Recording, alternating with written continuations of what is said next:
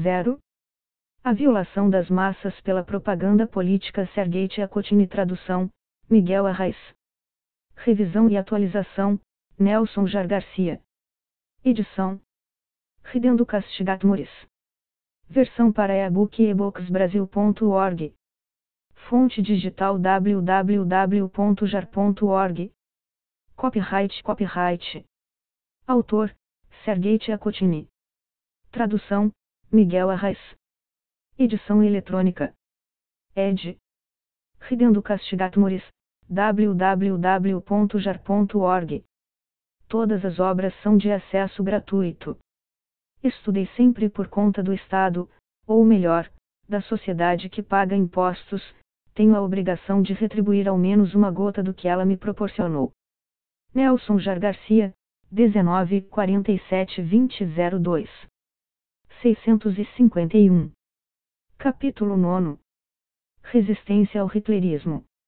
O primeiro golpe em Heidelberg é a luta contra a incompreensão e a rotina. Cabeça está podre. As eleições em Hamburgo, no Württemberg e na Prússia. O triunfo em Hesse. Uma nova é a esperança e a decepção. O plano de agarrar o dedo a grande maré. O golpe de Estado de Von Papen. O 20 de julho. O sedã dos chefes. A meia vitória. As consequências. A debacle. Acabamos de examinar os acontecimentos do ano de 1932, na Alemanha, fornecem uma boa ilustração experimental, porque realmente vivida, do valor da análise científica dos princípios que abordamos nos capítulos precedentes. Quis o destino que, embora homem de ciência, fazendo pesquisas biológicas no Kaiser Wilhelm Institut FR Medicine e em Heidelberg, tenha eu sido envolvido nos acontecimentos desse ano fatídico, em que se jogava a sorte da Alemanha e da Europa e que me tornasse o chefe de propaganda da Frente de Bronze, Eisernfront, a grande organização de defesa anti-hitlerista, criada então pelo Partido Social Democrata Alemão. Depois que os novos métodos de combate os símbolos, três flechas, punho levantado, o 652 Grito Freit, foram adotadas e sofreram a primeira prova nas ruas de Heidelberg, 447 dando-nos resultados encorajadores, tratava-se de empreender a luta efetiva, a primeira campanha eleitoral de Hindenburg se aproximava. O Partido Social Democrata tinha lançado a famosa palavra de ordem de apoio à candidatura do velho Marechal era duro e doloroso para esse partido, mas, não tinha outra saída, Qualquer outra candidatura teria, sem dúvida, levado Hitler, imediatamente, ao poder e era preciso evitar isso, a todo preço, era preciso ganhar tempo para organizar a frente de bronze, para fazê-la tomar boas posições estratégicas, tendo em vista o combate definitivo, que já se desenhava como inevitável. Era preciso também assegurar a disciplina, a palavra de ordem estava dada, não havia mais tempo para discussões teóricas. Era preciso atacar. Enviei um plano de propaganda a Berlim. Esperei, em vão, a resposta. Fiz imagem simbólica da luta, uma combinação de dois princípios, combativo e irônico, imagem que, espalhada, mais tarde, em milhões de exemplares, figura 15, teve, em toda a Alemanha, uma popularidade surpreendente. Depois de duas semanas de espera, alguns dias antes das eleições, recebi de Berlim a resposta de que o utilizariam eventualmente para o segundo escrutínio. Enviei todo o sistema de símbolos, de 653 projetos concretos e minuciosos de propaganda e organizações. Berlim permaneceu muda. Além disso, a propaganda do partido, por ocasião dessa campanha, não se desenvolveu senão muito tardiamente e não pôde pretender medir-se com a dos adversários, nem em quantidade, nem em qualidade. Uma vez mais, nossos boletins eram muito longos, muito doutrinários, ao lê-los, bocejava-se. Dois ou três cartazes inábeis, sem imaginação nem força persuasiva, eram pregados nos muros, as figuras neles pintadas lamentavam-se, gemiam, retratavam o diabo nos muros e falavam com angústia da aproximação do Irik. Agir assim, não era completa loucura, não era prova clara de uma incapacidade total de intuição psicológica. Não se estava servindo assim a causa de Hitler. Com efeito, ele ameaçava e nossos cartazes davam uma forma concreta ou figurada às suas ameaças faziam uma propaganda de intimidação às avessas. Nossos comícios eram frequentados mas, que se poderia ouvir ali? Intermináveis discursos, citações históricas, cifras, estatísticas, provas do apoio, etc., etc., tudo entremeado, de tempo em tempo, de piadas e palavras espirituosas bastante vulgares. Os mais ativos de nossos companheiros perdiam seu tempo em reuniões insignificantes, que se realizavam em todas as pequenas localidades. Há um secretário de nosso partido que se esfalfava numa atividade desse. 654. Gênero: submete, um dia, o seguinte cálculo, no momento mais ardente da campanha eleitoral, quando a propaganda dos nazistas fazia furor, quando eram senhores da rua, colocando, por toda parte, seus símbolos, arrojando-se sobre nossa gente, provocando rixas, nosso chefe tinha desaparecido da cidade e falava num buraco, a uma centena de pessoas das quais cerca de 80 já eram nossas e teriam votado conosco, em qualquer hipótese. Das 20 que restavam, ele não poderia esperar atrair mais do que a metade para nossa causa. Tratava-se de ganhar, no máximo, dez votos. Para isso, tinha abandonado seu gabinete no partido, a juventude, ansiosa por atuar, permanecia ociosa em casa, os camaradas da bandeira do rei que erravam pelas ruas sem objetivo e sem orientação, pois ele tinha enviado os chefes locais da bandeira do rei e da juventude para recantos semelhantes, fora da cidade. O mesmo espetáculo se oferecia por toda parte. F 15. 655. Cartaz anti-hitlerista da Frente de Bronze difundido em milhões de exemplares na Alemanha quando da luta de 1932. Sua eficácia repousa na combinação de dois princípios realizados: ridículo do adversário, Hitler, e a própria força do ataque. Três flechas, a todos os meus projetos para ativar e modernizar a luta, os secretários e outros funcionários do partido respondiam invariavelmente: nada podemos fazer sem instruções do Comitê Central de Berlim. Desesperado, decidi, então, agir por minha própria conta. Quem podia impedir-me de desdobrar minha atividade como membro do partido? Em dois dias, visitei os centros mais importantes do sul e do oeste da Alemanha, Falei a nossos dirigentes, expus os novos métodos, mandei convocar jovens camaradas da bandeira do rei que os iniciei nas formas de combate por símbolos.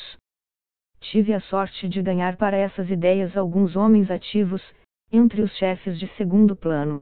Era sobretudo a juventude que adotava com entusiasmo os novos métodos e que os aplicava, em seguida, com afinco. Os muros dessas cidades foram, rapidamente, cobertos por nossos símbolos, a saudação Freit ecoou nas ruas e nos comícios. A imagem simbólica das três flechas, perseguindo a cruz hitlerista, apareceu-nos. 656. Jornais locais do partido, assim como os dísticos curtos e incisivos que se colocavam ainda nos pequenos cartazes. Os secretários do partido e os chefes da bandeira do rei dessas cidades, falaram-me do alegre entusiasmo que se apossava das equipes móveis dos nossos jovens militantes, do ardor com que se lançavam na luta de propaganda. Melhor ainda, eis um relato de um dos nossos agentes, desde que a campanha de Giz, nome que se havia dado à ação, foi deflagrada, todo mundo se transfigurou.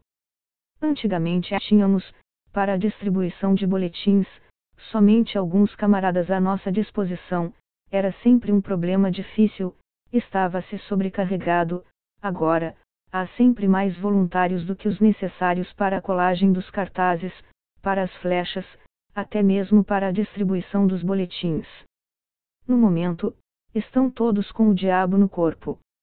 Isso não era de espantar, o novo método tinha a enorme vantagem de entusiasmar os que tomavam parte na sua aplicação, um pequeno risco pessoal dava a um gosto um pouco romanesco de aventura e correspondia a uma necessidade profunda de atividade, especialmente na juventude.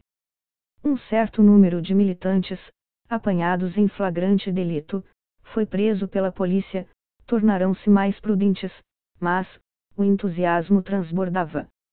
Em Heidelberg, tudo estava em ebulição, a 657. Cidade inteira se achava sob o signo das três flechas e, no próprio dia das eleições, todos os cartazes do inimigo estavam recobertos pelos nossos, que impressionavam, ameaçavam e zombavam. Eis aqui alguns exemplos. Hitler kommt nicht die Macht, die Eiserne Stetal, der Wacht. Hitler não chegará ao poder, à frente de bronze monta guarda, ou Sul das Putin ir Nurvagen. Die Eiserne Front ou Chausumlagen. Evitai o golpe, a frente de bronze está pronta a atacar. O tom irônico. Vergonha Belsortund Hitler Kind, sagt, Hindenburg wird Präsident. Quem ouve Goebbels e quem conhece Hitler, dirá, Hindenburg será eleito presidente.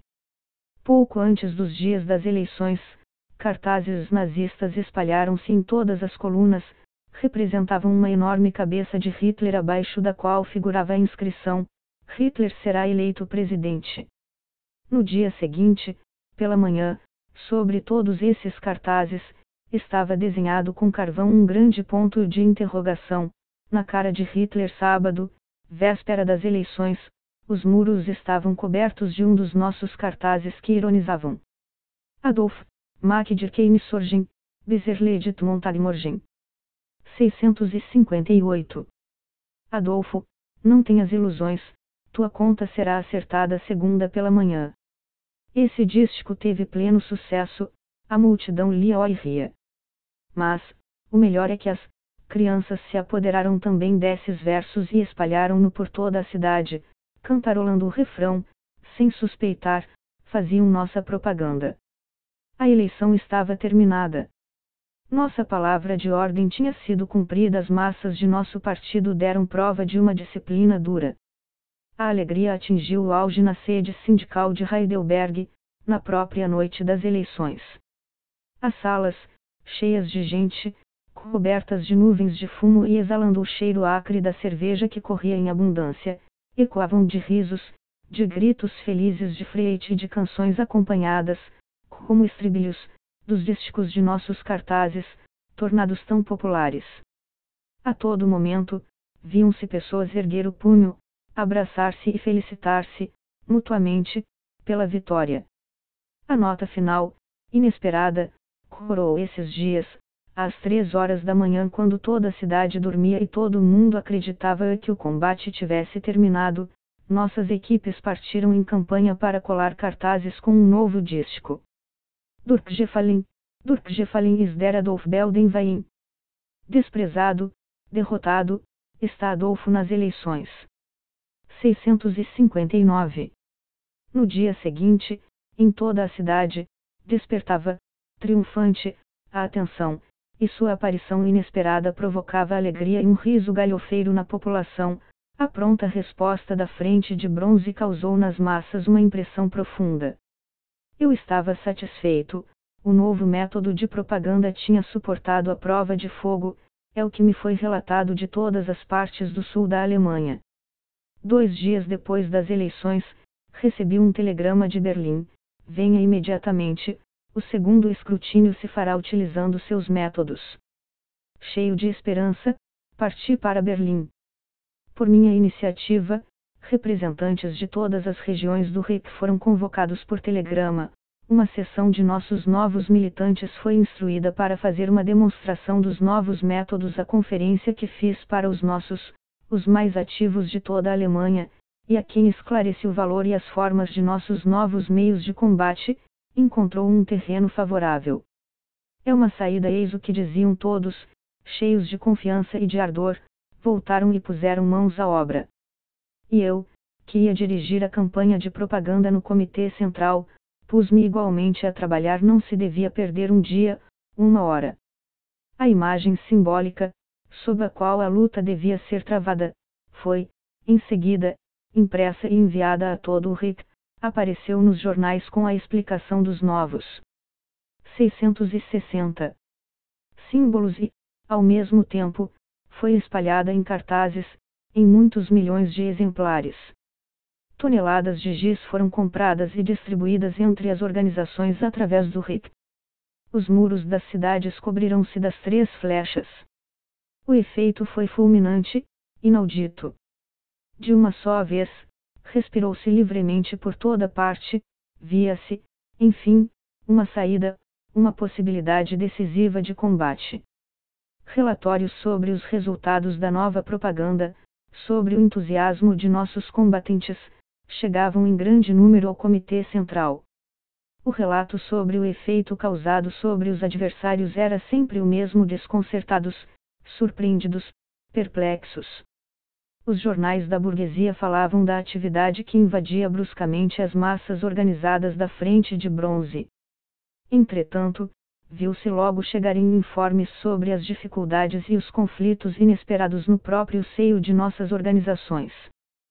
Surgiram divergências de opinião entre a direção da bandeira do rei e a da frente de bronze, de uma parte, e os escritórios do Partido Social Democrata, de outra.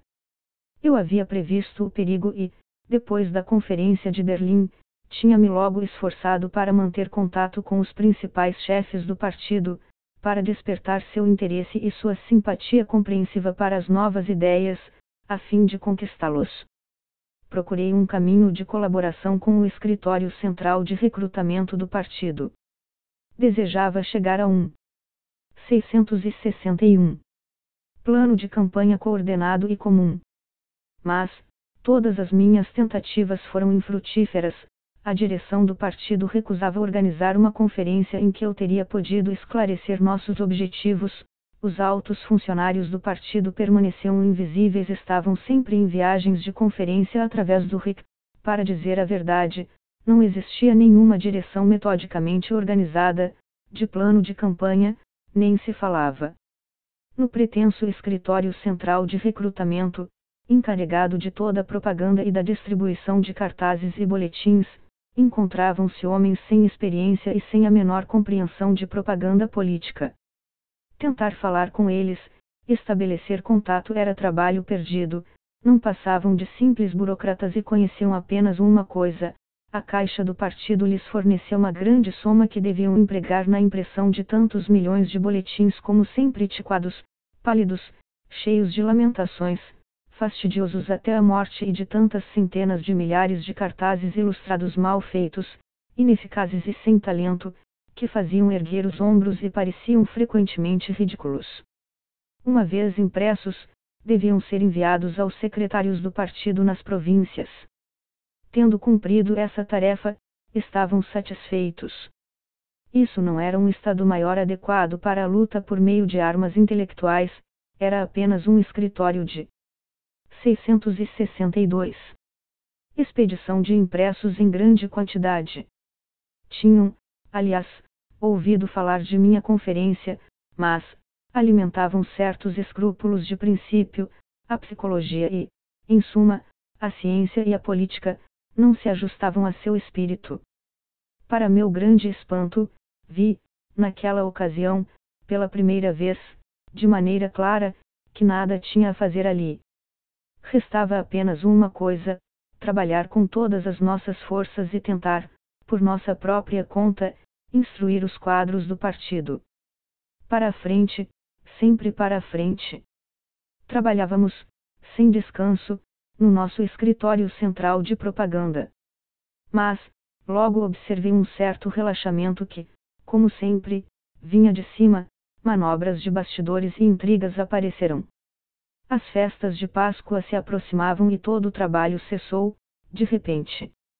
Ia tudo embora, aos pedaços, mas, não se queria ouvir falar em luta. Corri de um lado para o outro, falei da loucura que era perder três dias inteiros em pleno combate, comparei a situação a uma grande batalha, em que o Estado-Maior é obrigado a trabalhar à noite e também no domingo, podia mostrar que os adversários não dormiam era tudo em vão abriam-se grandes olhos, zombava-se de mim com bonomia, festejava-se, dançava-se, jogavam-se cartas. Corri à sede sindical, encontrei-me em plena festa burguesa. Damas enfeitadas passeavam. 663. Nas salas, nossos chefes, em sobrecasaca preta, um grande charuto na boca, riam e se divertiam, dizendo trocadilhos. Precipitei-me para a casa de um de nossos marechais e encontrei-o no jardim, começando a estrumar canteiros de rosas. Tinha um ar muito estupefato ao me ver surgir, a 200 quilômetros de Berlim e falou dos assuntos mais prementes sem entusiasmo e sem ardor combativo. Rangendo os dentes, voltei a Berlim. Tentava trabalhar, mas, estava manietado, o mecanismo da organização estava parado. Somente três dias depois, tudo se poria em marcha. Nesses intervalos, vieram as intrigas. Na direção da bandeira do REC reapareceu, de repente, o chefe Otto Orsing, que se tinha eclipsado havia algum tempo voltou para trabalhar contra as novas ideias declarou que elas eram muito modernas, muito perigosas, que feriam os regulamentos da polícia, e que, além disso, lhes pareciam ridículas, corria-se o risco de surgir, sob falsa aparência, aos olhos do público. Exigiu que todo o desenvolvimento da nova propaganda fosse suspenso. Ameaçou o Comitê Central que, repentinamente, admirado com sua própria coragem, se submeteu. Tudo o que tinha sido posto em marcha parou bruscamente, todas as ordens relativas à propaganda de que fomos encarregados por parte dos nossos escritórios do 664 interior que se impacientavam, deviam ser anuladas, excelentes cartazes de um novo gênero e de execução artística, ao mesmo tempo que eficazes, no mais alto grau, prometidos a províncias, e reclamados por elas, foram subitamente interditados por nossos próprios chefes. Argumentou-se que não havia mais dinheiro, eu era o chefe da propaganda, mas, tinha sido gasta sem meu conhecimento, uma grande importância, centenas de milhares de marcos, quase todos os meios disponíveis, despenderam-se para imprimir brochuras escandalosas, contendo anedotas sobre a vida íntima dos chefes nazistas.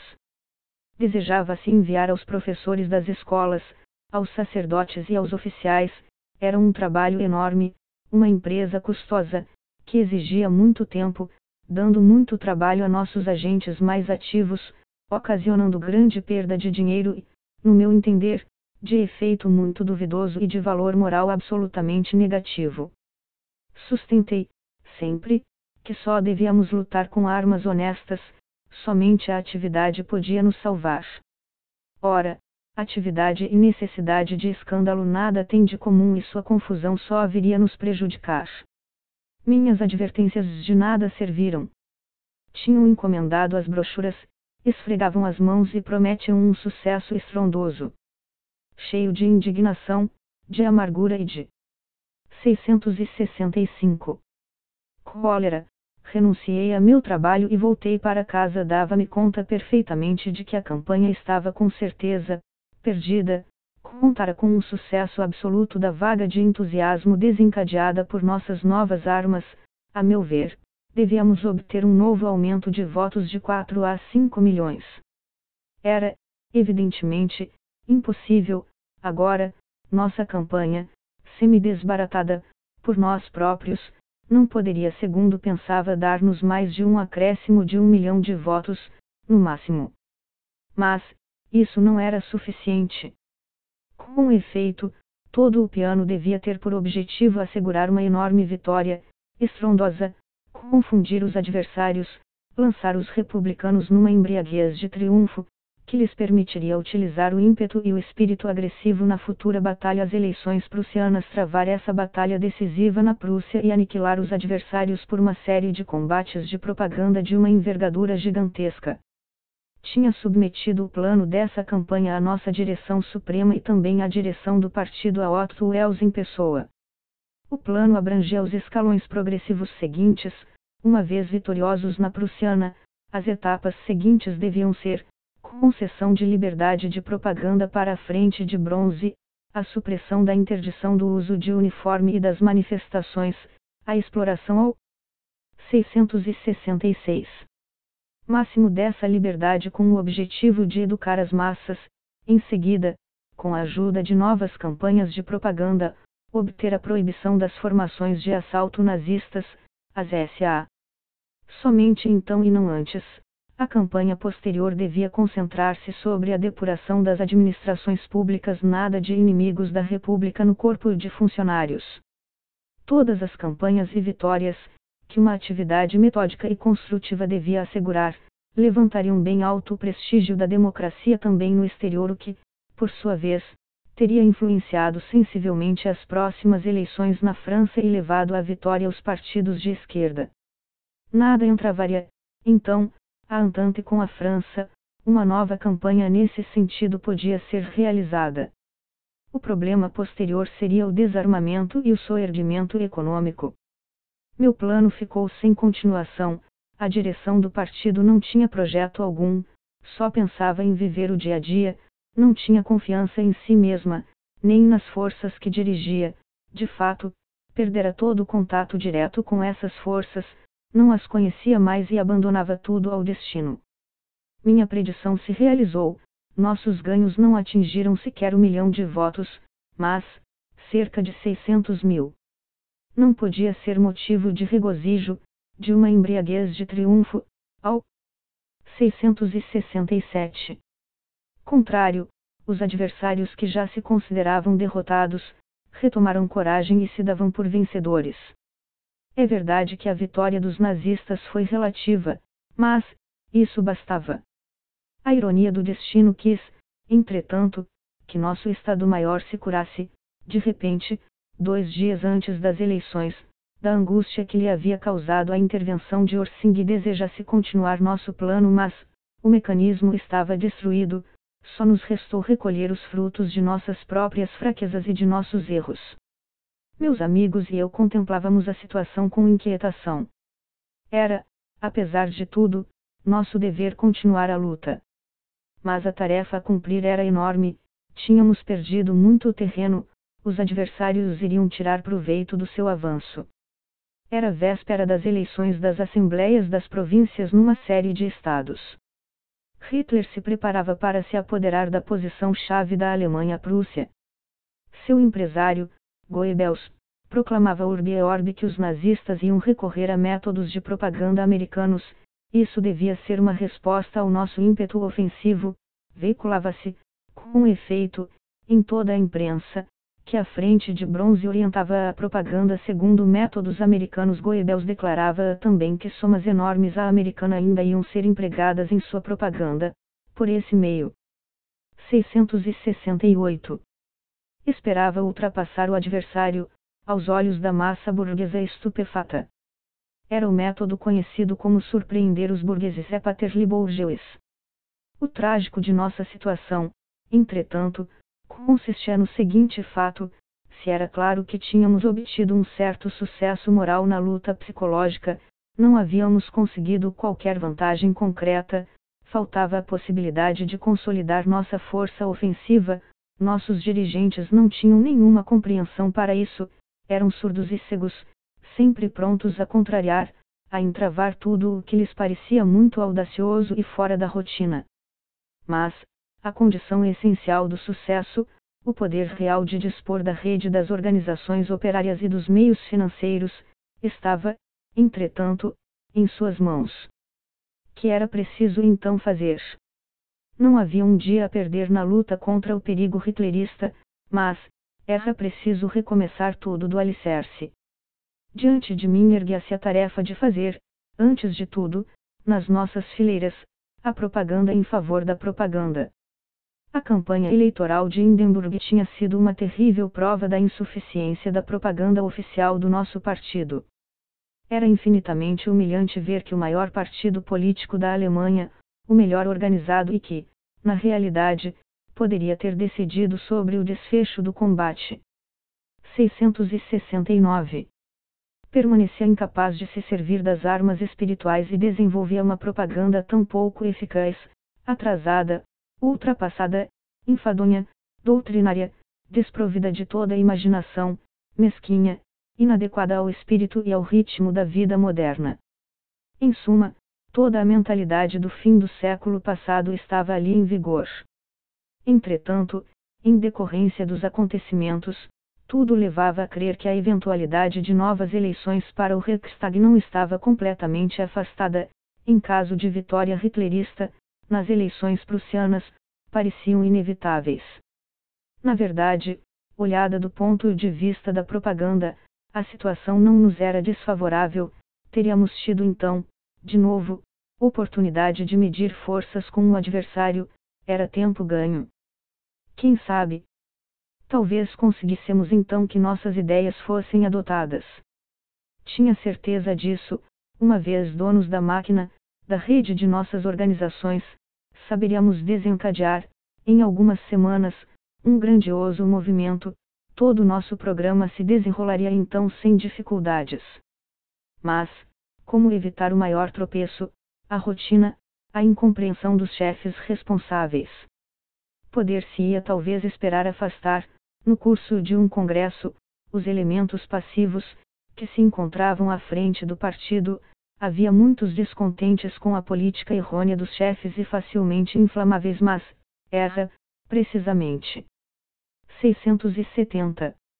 A razão pela qual fugia a possibilidade de a direção do partido convocar um congresso, enquanto a campanha política estivesse no auge.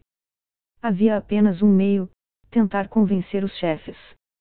Escolhi os três caminhos seguintes: artigos instrutivos nos jornais, a persuasão pessoal e a exibição de provas práticas dos resultados eleitorais no decorrer das eleições seguintes para as dietas provinciais.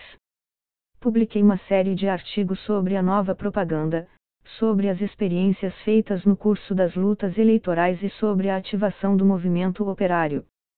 Tentei convencer, pessoalmente, cada um destes em particular, Vogel, Breitade, Ilferdin, Hertz, Grassmann, Kunstler, Eilman, Lobe, Stampfer e outros ia procurá-los, falava horas inteiras, esforçando-me por persuadi-los, baseando-me em números, quadros e mapas.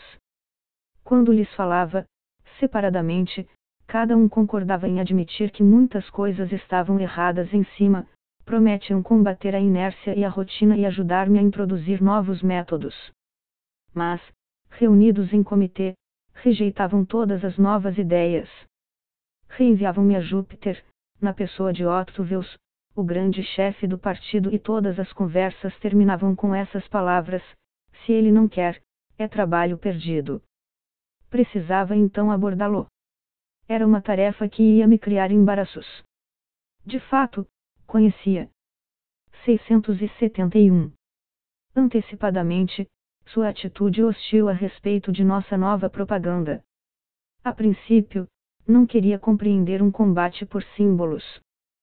Seus argumentos eram inteiramente inacreditáveis, na boca de um chefe revolucionário, tornar-nos-emos ridículos com essas ninharias e, teremos aborrecimentos com a polícia. Lembremos que se tratava de um social-democrata, um dos camaradas dirigentes da Frente de Bronze passou cinco horas com ele para persuadi-lo a dar aprovação aos novos símbolos que já tinham sido experimentados na luta. Consentiu, enfim, quando lhe foi apresentado, da parte da chefia de polícia berlinense, um documento especial redigido pelos jurisconsultos, assinado pelas autoridades policiais e carimbado de acordo com o regulamento. Esse documento dizia que a polícia nada tinha a objetar, que não interviria, se os operários socialistas desenhassem as três flechas nos muros. Decidi-me, mesmo assim, a falar-lhe. Encontrei-o nos corredores do Reichstag, a 13 de abril, dia do Congresso Sindical. Abordou-me de forma abrupta: Qual é então vossa experiência de luta entre nós? Respondi: Camarada Vils, devo dizer a verdade. Três fatores atuam no nosso partido: a saber, as massas, as organizações do partido e sindicatos e a direção, o primeiro é excelente, as massas são 672. Inteligentes, disciplinadas, prontas para o combate, entusiastas. O segundo fator, o mecanismo das organizações, é também excelente. É natural, uma organização que existe há 70 anos deve ser boa. O aparelho do partido está à altura de toda situação, e capaz de assumir qualquer tarefa. Na realidade, a organização poderia produzir muito mais do que lhe é exigido atualmente. Quanto ao terceiro fator, a direção, devo confessar francamente, a cabeça está podre.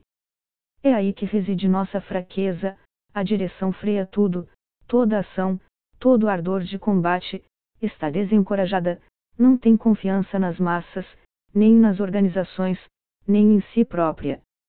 O rosto de Vils enrubesceu, os espectadores dessa cena abriram os olhos espantados a tempestade ia explodir. No entanto, não era de minha parte mais que um ardil psicológico, pois, prossegui imediatamente.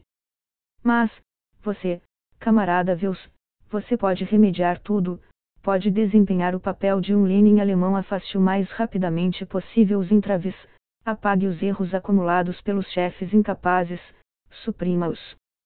A expressão de Vils alegrou-se, um sorriso cheio de bonomia apareceu em seus lábios e, com um olhar malicioso, disse: Muito bem, falaremos. Venha amanhã ao secretariado do partido, você terá uma hora inteira. 673. A esperança surge. Camaradas me felicitaram, dizendo: metade do assunto está ganho. Talvez consigamos vencer, apesar de tudo. No dia seguinte, fui ter com Veus. Encontrei-o cercado de velhos burocratas do partido. Pus na obra toda a minha eloquência, tentei conquistá-los, ele e os outros, em vão, era trabalho perdido.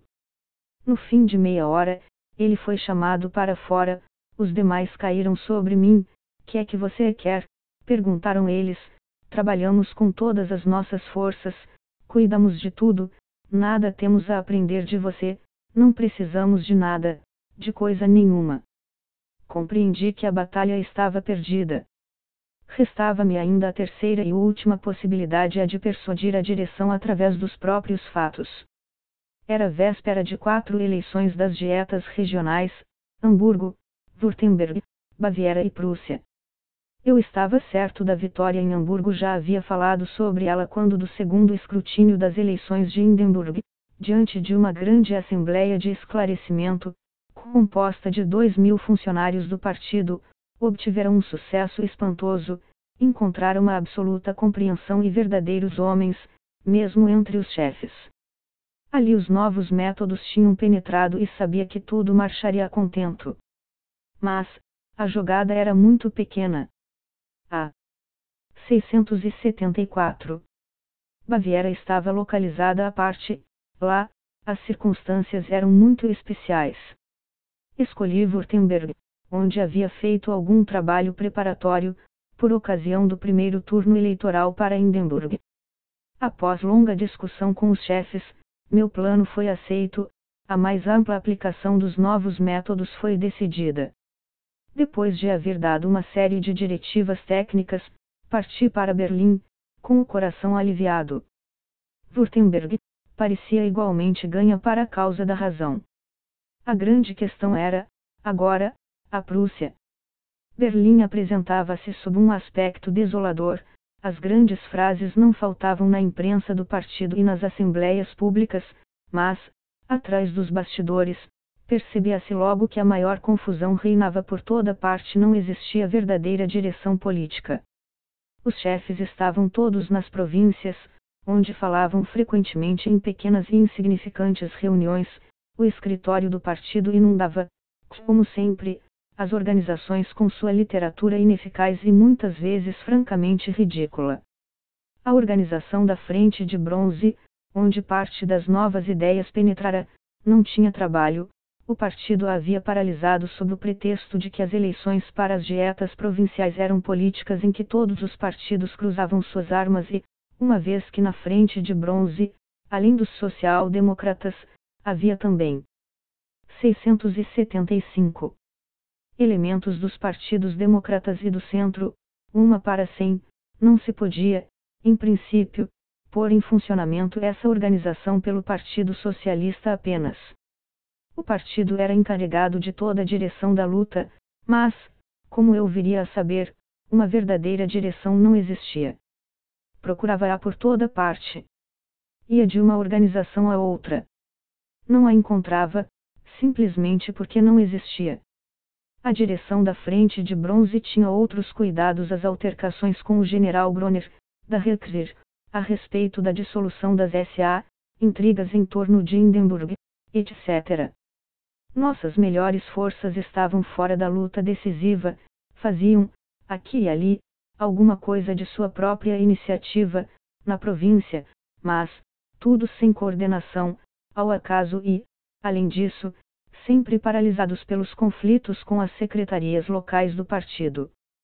Todas as minhas tentativas de reparar, de persuadir, em benefício de uma ação real, eram infrutíferas. Percebia que a Batalha da Prússia estava perdida. Minha profecia se realizou. Em Württemberg sofremos igualmente uma derrota. Desalentado, fui a Stuttgart. E que verifiquei. Nenhuma das decisões da conferência do plano tinha sido executada. O escritório do partido em Berlim tinha inundado Württemberg também de sua papelada, segundo o velho costume, todos os esforços tinham sido empregados em coisas 676 inúteis. Lá também, a frente de bronze estava paralisada, reconhecia-se, mais uma vez, que os novos métodos eram os únicos eficazes, mas, a antiga rotina tinha vencido e perdéramos, assim, uma posição importante. Somente um lugar não falhara Hamburgo. Tinha-se, ali, lutado de fato e obtido a brilhante vitória que eu previra. Os novos métodos obtiveram sucesso e todo mundo falava em seu favor, o combate por símbolos tornou-se popular no seio do partido, sobretudo no interior. Conduzia-se enfim a insígnia das três flechas na lapela, as bandeiras vermelhas com três flechas surgiam por toda parte, muitas pessoas saudavam-se nas ruas com o grito de freite e um grande número de jornais do partido colocara, afinal, o símbolo das três flechas no alto de sua primeira página. Um dos raros jornais que não o fazia, que se obstinava na recusa, era o órgão principal do partido, o Vorwärts. A vitória na Prússia fez com que os nazistas levantassem a cabeça, agora falavam alto, exigiam a reconstituição das SA, interditadas depois da segunda eleição de Hindenburg e se conduziam inteiramente como donos do futuro. O poder do Estado estava cada vez mais paralisado. Sentia-se, no ar, a aproximação da reviravolta. A direção da propaganda nazista compreendia perfeitamente. 677. Que era preciso tomar, mais uma vez, a ofensiva psicológica para abrir caminho à reviravolta. Necessitava de uma eleição suplementar favorável. Com a ajuda do Partido Populista Alemão, completamente desmoralizado, Hitler impôs novas eleições em Hesse. Estávamos, então, às vésperas de um novo combate. Respirei livremente enfim, uma ocasião favorável apresentava-se para nós, em Hesse, nós, os adeptos das novas ideias, contávamos com as melhores forças e as posições chaves estavam ocupadas por homens ativos. Um telegrama arrancou-me, novamente, ao meu trabalho científico em Heidelberg, corri e lancei-me à luta com alegria e confiança nós e os adversários compreendíamos a sua importância, era a batalha psicológica decisiva. Se vencêssemos, o caminho talvez estivesse livre para fazer valer a única arma segura, a nova propaganda, se o acesso ao poder fosse novamente barrado a Hitler, despontaria uma nova vaga de confiança em nossas forças e muitas oportunidades surgiriam para a luta futura. Se Hitler ganhasse a Batalha de Hesse, provaria que sua chegada ao poder estava assegurada, poria fim ao começo de dissolução, que se verificava nas fileiras das SA, fatigadas de esperar sempre por suas promessas. O combate de Hesse deveria ser uma luta de morte com armas do espírito. Todos os 678 partidos mobilizaram suas forças, essa pequena área foi inundada de oradores, de cartazes e boletins. Quase todos os membros do Reichstag estavam ali reunidos. Percorriam a região em todos os sentidos. Hitler se esmerava, Goebbels punha-o a falar, a céu aberto, em todos os distritos de Hesse, diante de enormes multidões, reunidas ao som de tambores e constituídas sobretudo de camponeses. O maior tantã foi encenado, flores, bandeiras, rufar de tambores, desfiles, archotes tudo foi usado. Mas, desta vez, não dormimos. Já desde a primeira noite, um plano de campanha foi traçado segundo todas as regras da arte da organização racional, discutido a fundo e lançado através da rede de nossas fileiras. Um controle moderno dos resultados, com a ajuda de mapas que permitiam seguir toda a marcha do combate, um pequeno boletim redigido em termos enérgicos foi espalhado como a golpes de martelo mete na cabeça das massas a fé no poder de nossos símbolos, despertava o ardor do ataque e a confiança em suas próprias forças e, sobretudo, lançava os três principais slogans sob os quais pretendíamos conduzir a luta: atividade ressuscitada, disciplina de ferro, solidariedade operária. Toda a campanha estava dividida em semanas, de maneira a obter, em cada uma delas, tensão sempre crescente. Graças a certos ardes, mantínhamos as massas atentas. 679.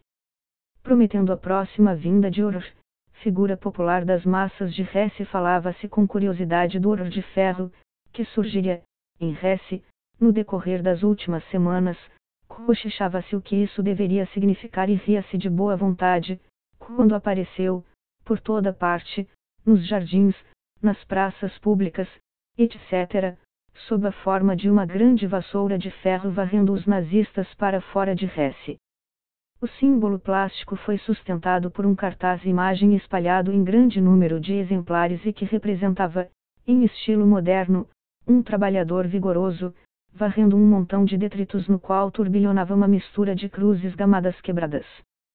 Bandeiras vermelhas com três flechas eram expostas nas janelas, todo mundo conduzia a insígnia, em duas semanas, foram vendidas 50 mil insígnias, embora o número de social-democratas em Hesse não fosse senão de 10 mil, nas ruas, os ciclistas desfilavam com suas bandeirolas de três flechas flutuando ao vento, por toda parte havia a saudação com o punho levantado e ouvia-se o grito Freiheit. Agora, que tinham obtido uma tal popularidade, o efeito dos símbolos era extraordinário e sempre o mesmo, despertavam a alegria das nossas fileiras, o estupor e a cólera impotente do inimigo, a maior perplexidade e surpresa nas massas dos burgueses e dos indiferentes. Símbolos das três pequenas flechas em papel. 680. Rolavam, por toda parte, nas ruas, todos os muros, todas as paliçadas e até o asfalto estavam ornados em nosso símbolo de combate vencendo a cruz gamada, pequenos cartazes de todas as cores, contendo dísticos, que falavam de nosso poder ou zombavam dos adversários, eram colados por toda parte, seus versos fixavam-se facilmente na memória e os popularizavam rapidamente. Nossas colunas marchavam nas ruas com um passo retumbante, com bandeiras a flutuar, assumindo ares de bravura e nossas canções eram saudadas pelos gritos de alegria e de triunfo da multidão. Enfim, via-se, em tudo, o nosso poder. Trabalhávamos agora, também, criando, em torno de nós, um clima de força, como diz Domenac, nossos símbolos, nossas insígnias, bandeiras, uniformes, cânticos, tudo estava impregnado da vontade de lutar e de vencer, tudo exalava confiança em nossas hostes. E, finalmente, todo mundo tinha compreendido que a melhor demonstração de sua força era a unanimidade ostentada em toda parte. Num abrir e fechar de olhos, nossas possibilidades aumentaram. As reuniões públicas, que nunca tinham sido como agora, podiam regozijar-se da afluência, faziam-se poucos discursos teóricos, nas reuniões, mas a confiança e o ardor agressivo foram um tanto melhor incutidos aos militantes pelos métodos. 681. De propaganda que atuavam sobre o subconsciente, ao mesmo tempo em que o juramento da fidelidade apelava para sua consciência. A ginástica revolucionária, como a chamávamos, foi utilizada, diálogos entre o orador e a multidão, que a incitavam a gritar, a curtos intervalos, freite, e a erguer o punho, em forma de saudação 448 a finalidade era injetar mais energicamente, por meio de atos de vontade coletivos, o ardor combativo no espírito de cada um, a fim de facilitar a explosão no futuro. Em todos os lugares, sentia-se o calor das massas populares, a animação, o poderio, o espírito de luta. A guerrilha dos símbolos e imagens fazia furor em Hesse e tomava as formas mais singulares. Somente então, os adversários começaram a procurar meios para combater nosso símbolo, para destruí-lo, para dele zombar. Respondemos prontamente. Em muitos lugares, tentaram mudar nossas três flechas em três guarda-chuvas. Barramos-lhes uma segunda vez. Os guarda-chuvas eram considerados como um emblema burguês. Nosso símbolo era restaurado, figura 16. Destruíam o efeito das flechas desenhando pontas, do lado oposto, mudávamos logo em flechas quebradas e uma cruz gamada triunfante em cima alterávamos a imagem em uma chuva de flechas atingindo a cruz gamada e tínhamos novamente a última. 682. Palavra. Desenhavam uma mão parando as três flechas e escreviam, alto lá. Alongávamos as flechas, fazendo-as traspassar a mão e escrevíamos, assim mesmo, ai de vós. Fi 16 guerrilha de símbolos, deformação de três flechas da frente de bronze pelos hitleristas e a resposta reparadora do símbolo dos socialistas. Veio então a mais alta expressão do dinamismo político das massas as manifestações. Nesse meio tempo, o governo de Von Papen chegará ao poder, com a ajuda de Hitler e, para recompensá-lo, concedeu-lhe o que era da maior importância para sua propaganda, o restabelecimento das SA. A interdição do uso de uniformes foi suprimida e todos os partidos tiveram permissão de marchar em colunas. Nos nossos jornais e também na imprensa burguesa moderada, dessa época, atacou-se fortemente Hitler e Von Papen por essa medida, zombava-se. 683. Deles, dizendo que nada tinham podido encontrar de mais útil. Gracejava-se erradamente, Hitler do ponto de vista de sua tática, tinha jogado um lance de xadrez inteiramente justo. Com uma coisa apenas ele não havia contado, acreditava-se na posse de um monopólio, baseava-se no fato de que, até então, a imprevidência psicológica e a imperícia da técnica de propaganda de seu principal adversário, o Partido Social Democrata, se haviam revelado constantemente. Então, Hitler marchava e nós marchávamos também, em grande pompa e esplendor, música na frente, saudados pelos gritos de alegria da multidão, nossas formações, bandeiras flutuando na dianteira, novamente munidos de uniforme, foram buscar, na estação de Darmstadt, a bandeira das três flechas, vitoriosa em Hamburgo. Esse ato simbólico marcava a vontade de atacar, de aumentar nossas forças em Hesse. Depois desse começo, organizei as manifestações segundo princípios novos partir da seguinte ideia: numa manifestação pública, tinha-se ao vivo, na rua, por assim dizer, os dois grupos de homens de que falamos, os ativos, os 5 mil, segundo nossa terminologia, marchavam no desfile, os hesitantes ou passivos, os 55 mil, formavam, na calçada, uma cerca de espectadores, de curiosos. O fim da manifestação, assim como de 684. Toda a propaganda desse novo gênero era captar os passivos, estimulá-los e arrastá-los conosco.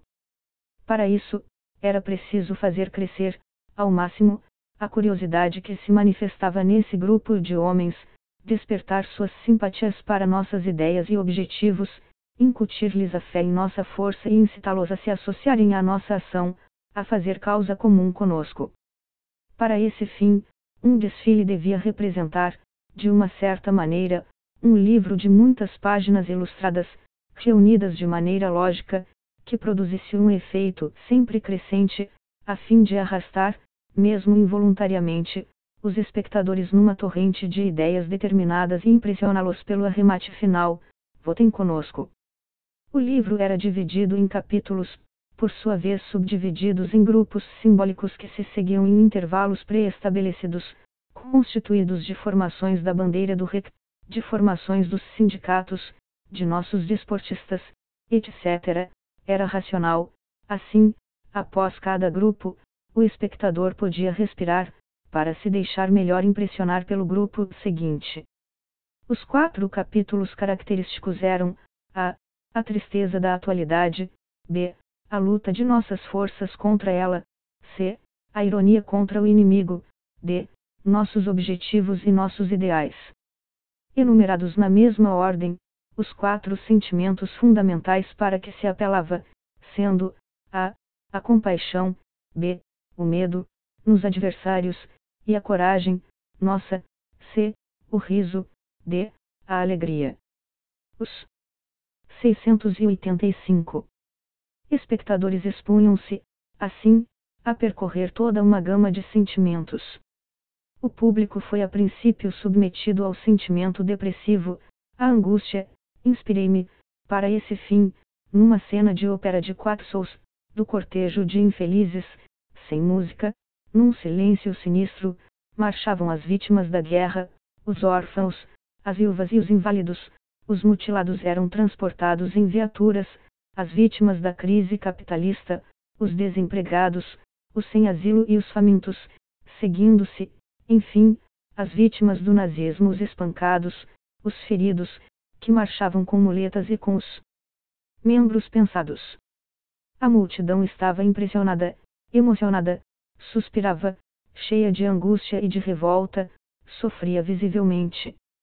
E eis, de repente, uma saída, um raio de luz, uma esperança eram os libertadores, que simbolizavam nosso poder e nosso ardor combativo pela liberdade do povo, pela abolição de todas as injustiças sociais, com música na frente, ao som de marchas militares e com passo cadenciado, desfilavam as formações em uniforme, tendo, entre eles, grupos simbólicos representando a força e a capacidade combativa de nossos camaradas na vanguarda, uma dúzia de jovens fortes, uniformizados, levando, acima de suas cabeças, três flechas enormes de metal brilhante, luzindo ao sol. Ao ritmo da música, executava-se, sob comando, um movimento na 686. Frente das flechas, ao grito simultâneo de Freud. Cada 30 segundos, esse movimento era repetido. Isso produzia, sobre todos, um efeito dinâmico enorme, os espectadores se alegravam, eram arrastados, gritavam Freud e vibravam de emoção. De um só golpe, o clima de força, como o chama Domenac, 45, foi criado. Seguia-se um caminhão, carregando um bonito jovem da bandeira do RIC, com um estandarte vermelho das três flechas na mão, e o braço direito levantado para a saudação Freud. Estava cercado de clarins, ornados de bandeirolas vermelhas com as três flechas. Um outro caminhão apresentava uma evocação emocionante, a sombra de Bebel, numa tela, estava pintada uma silhueta negra, representando a cabeça do grande tribuno em perfil iluminado por um projetor colocado no caminhão. Na carroçaria de uma outra viatura, ornada de ramos verdes e de faixas vermelhas, vinha a deusa da liberdade, uma moça alta e bonita, vestida de vermelho e com um barrete frígio na cabeça, o olhar para frente, tendo na mão esquerda uma grande bandeira vermelha com as três flechas e, na direita, uma espada apontada para frente. Simbolizava a figura da Marselhesa, de Rude, do Arco do Triunfo, em Paris. Clarins soavam em torno dela e atrás se erguia toda uma floresta de bandeiras vermelhas, flutuando ao vento, levadas pelos 687. Jovens socialistas, a cor vermelha dá um efeito fisiológico intenso. A seguir, um grupo de bonitas jovens, vestidas de bandeiras vermelhas com três flechas, tendo a espada à direita descoberta, agitavam bandeiras vermelhas e carregavam archotes eram as tochas vivas da liberdade. Vinham depois muitos grupos, provocando a alegria e o entusiasmo dos espectadores, que chegavam ao delírio. Para dar ao espírito, tenso até o extremo mister mudar a qualidade das emoções, era o objetivo do terceiro capítulo do desfile continha grupos que zombavam do inimigo, a emoção da multidão era, agora, orientada em outra direção. A princípio, um rocinho puxando uma carroça de carrasco, em cuja borda se balançava uma boneca derribada com o uniforme das SA e com traços de Hitler, A carroça era seguida de um grupo de homens que cantavam alternadamente canções populares Musiden Adolfo, Ad, Secheiden Tutvi, Adolfo, Adeus, A Separação é Cruel, e executavam gestos de adeus infantis. Depois, vinham os camponeses em trajes nacionais, que traziam em seus forcados grandes cruzes gamadas traspassadas, um automóvel de cor malva trazia adolescentes efeminados com uniforme das SA. Alusão às tendências especiais do capitão Ron, chefe do Estado-Maior das SA. Em seguida, grupos que cantavam áreas em voga do filme O Congresso se diverte, com palavras adaptadas, naturalmente. 688. Tais como Den Gabs no Reimal, Der Trader, um tipo como ele, Hitler, só existe uma vez, um tipo como ele não virá jamais. Os espectadores torciam-se de rir. O riso relaxa, desinibe um estado de tensão.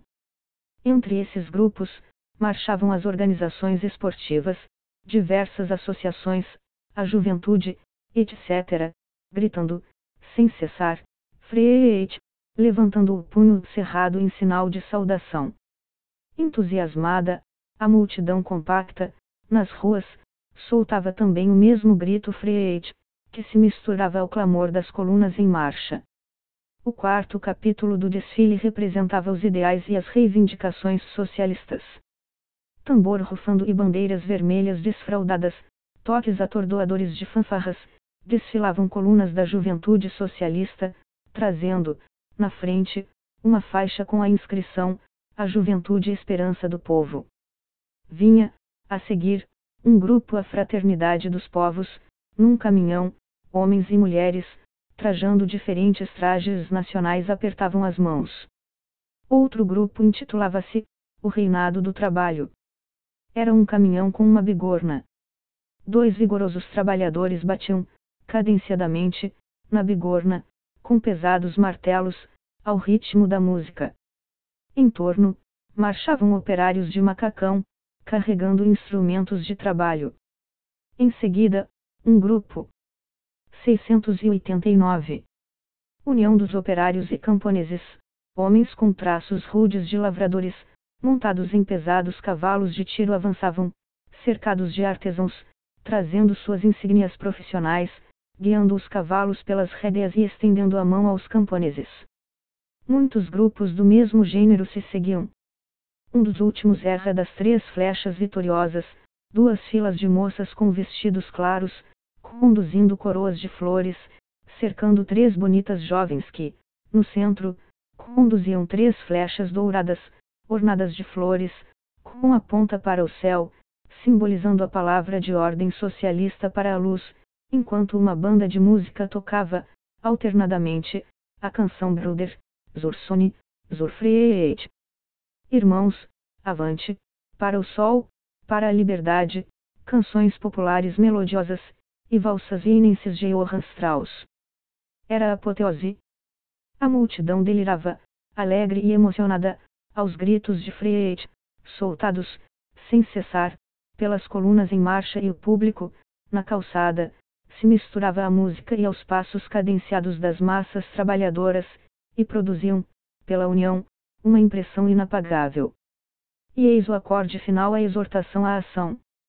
Era um grande caminhão, em que ressaltava um grande número e, recoberto de tecido vermelho, com a inscrição Vote na lista e, em cima do caminhão, em torno de uma urna eleitoral, estavam quatro personagens com trajes. 690 característicos: um camponês, um operário, uma mulher e um intelectual. Colocavam, ininterruptamente, envelopes brancos dentro da urna, representando as cédulas eleitorais. Eis o que devia também fazer, no dia das eleições, o espectador persuadido, conquistado pelo livro, que acabava de folhear, olhando o desfile. Para tornar a multidão de espectadores ainda mais sensível ao espetáculo, para excitá-la pelos ruídos tóxicos sonoros, como diz de Felice, 37, fez-se circular, em torno do desfile, motocicletas cujo ruído ensurdecedor dava a impressão de velocidade, de importância, de perigo. Enfim, o máximo de intensidade de impressões era obtido pelos desfiles noturnos, em meio de tochas flamejantes, soltando rolos de fumaça. O espetáculo tornava-se alucinante. Bachelard, 12, 449 mostrou que o fogo impeliu o homem para diversos e profundos devaneios. O fogo produz um efeito ao mesmo tempo exaltante e terrificante. De Felice, 37, fala da verdadeira magia do fogo. O fogo mergulha sobretudo os primitivos numa louca excitação. Somos levados a pensar no furioso entusiasmo das bacantes e menades, quando corriam pelas florestas da Trácia e da Grécia, brandindo tirsos e archotes de resina. Mesmo atualmente, o fogo da lareira engendra sonhos e fantasmagorias 450 e são os fogos de artifício que encerram, muitas vezes. 691. As festas populares noturnas e fascinam as multidões. Tivemos, então, uma surpresa que mostrava o resultado palpável da manifestação, atrás do desfile propriamente dito, via-se formar um novo e longo desfile, sem bandeiras, nem música. Eram os ativos, os espectadores hesitantes conquistados que, não podendo mais guardar uma atitude passiva, se lançavam também na passeata e faziam causa comum conosco estavam ganhos. Era uma prova clara, incontestável da ativação, um triunfo da eficácia dos novos métodos de propaganda. Uma imagem da última grande parada das tochas, antes do dia das eleições em Darmstadt, gravou-se profundamente na minha memória. Vinte mil homens marchavam na noite, iluminados pelos archotes e envolvidos por espessas nuvens de fumaça, entre as massas, grupos simbólicos surgiam, a cada instante, com um aspecto fantástico, pitoresco, pelas cores gritantes, aclarados por uma luz crua e fremindo de vida, o vermelho vivo das bandeiras, a música, os gritos freio, o troar de milhões de passos, batendo com ritmo no solo, fundiam-se numa sinfonia estranha, um êxtase apoderava-se da multidão em delírio. Achava-me ao lado de uma viatura de imprensa e dos membros do Reichstag reunidos na cidade. Observei Lob, o presidente do Reichstag. Estava 692 de pé, apertando, com as duas mãos, sobre o coração, um ramalhete de flores que uma criança lhe tinha oferecido fixava os olhos na massa que o aclamava, desfilando diante dele, o homem político, calmo e ponderado, era bruscamente transportado para um outro mundo, quase imaginário, via-se que estava perturbado, emocionado, comovido até o fundo da alma. Passado o desfile, Lobe veio a mim e tomou-me as duas mãos dizendo, de fato, vi hoje que você tinha razão. Despedimo-nos. Retomei confiança, Iria ele ao fim da resistência, ousaria. Em Rece, ninguém duvidava mais do efeito de nosso novo meio de combate, de todos os lados, ouvia-se dizer, enfim, a classe operária começa a tomar consciência de sua força. Os nazistas estão acuados na defensiva. Figura 17 as manifestações de entusiasmo provocadas pelos nossos desfiles na população e que vibrava nas nossas assembleias eram indescritíveis e produziam uma impressão indelével em todos os assistentes. A fé coletiva nas próprias forças, a confiança na vitória, sentimentos de uma ordem talvez mais elevada, puramente humana, tudo isso surgira como por encantamento no meio das massas. Tinha-se uma prova incontestável, examinando-se as fotografias dos rostos dos manifestantes, figura 14, 451 não mais se viam. 693. Faces contraídas pela cólera ou pelo ódio, mas, homens em êxtase, em estado de feliz libertação. Isso impressionava se confrontadas as expressões dos rostos em nossos comícios com as dos ouvintes dos discursos hitleristas. Aos olhos de todos, operava-se um milagre, a transformação em dinamismo ativo da enorme energia latente, acumulada na classe operária. A vitória iminente e certa brilhava nos olhos de todos em Hesse. E ela veio, efetivamente, a 19 de julho. O Partido Social Democrata, a despeito de todas as previsões dos inimigos, seguros da vitória, e de homens políticos profissionais, tinha ganho duas cadeiras, o governo socialista permanecia no poder. Em decorrência das eleições de Hesse, o círculo mágico que mantinha alerta todos os espíritos e que produzia um efeito paralisante sobre toda iniciativa, sobre toda tentativa de parar a vaga transbordante da loucura política das massas, o hitlerismo estava enfim quebrado. Agora, sabia-se finalmente que era de fato possível vencer o movimento da Cruz Gamada. Aí residia a enorme importância das eleições em Hesse. Era o soerguimento psicológico das massas.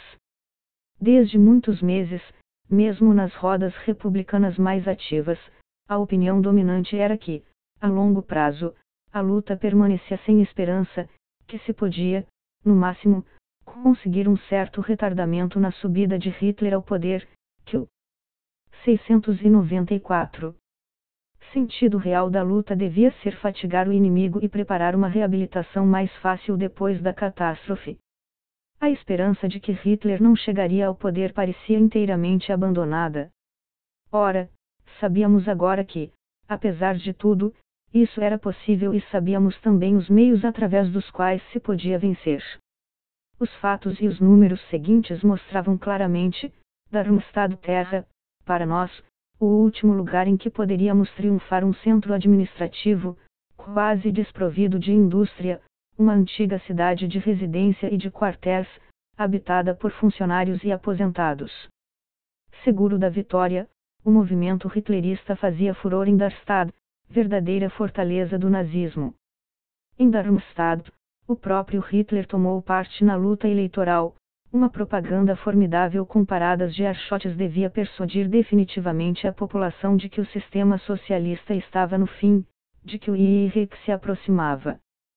695. F 17. Cartaz anti-hitlerista da frente de bronze baseado no mesmo princípio que a figura 15. Ora, tudo isso de nada serviu, os números são convincentes, todos os partidos, mesmo os do centro católico, perderam votos. Os nazistas perderam cerca de 600. O único partido vitorioso foi o nosso, o social-democrata. Contra toda expectativa, sua votação cresceu, em Darmstadt, de 1.500 votos. Tínhamos uma prova verdadeiramente irrefutável de que nossa vitória era, de fato, o resultado da aplicação judiciosa de medidas de propaganda rigorosamente calculadas. Os números seguintes nolo indicavam em cinco cidades de Hesse, Offenbach, Darmstadt, Moguntia, Worsigesen. A conferência de esclarecimento dos militantes do partido, o funcionamento de todo o novo aparelho de 696. Propaganda, foi realizada nas quatro primeiras, mas, não Gessen escolhi expressamente essa cidade como uma espécie de cobaia testemunha e aconteceu que Gessen foi a única cidade em que o Partido Social Democrata teve uma derrota, enquanto nas demais, conseguimos um aumento bem sensível de votos podíamos concluir que a vitória era função de medidas organizadas de maneira bem determinada. Além disso, o começo da propaganda, nas quatro primeiras cidades, ocorreu na ordem seguinte: Offenbar 25 de maio, Darmstadt 27 de maio, Moguntia 30 de maio, por 6 de junho. Os votos ganhos nessas cidades estão na mesma ordem: Offenbar 3.300 votos, Darmstadt 1.500, Mogum-se a 1300, por 600. Devíamos concluir que, com esses métodos, o resultado era questão de tempo. Assim, a experiência de Hesse vencera de maneira absoluta. Finalmente tínhamos nas mãos meios seguros para resolver o problema, derrotar Hitler. Enquanto a luta eleitoral em Hesse atingia o auge, a situação política revestira-se, subitamente, de um novo aspecto em todo o Reich. Von Papen, tendo dissolvido o Reichstag, convocou o povo para novas eleições em 31 de julho. A direção do nosso partido encontrava-se diante de problema da preparação, no mais breve. 697. Prazo possível, de nova campanha eleitoral.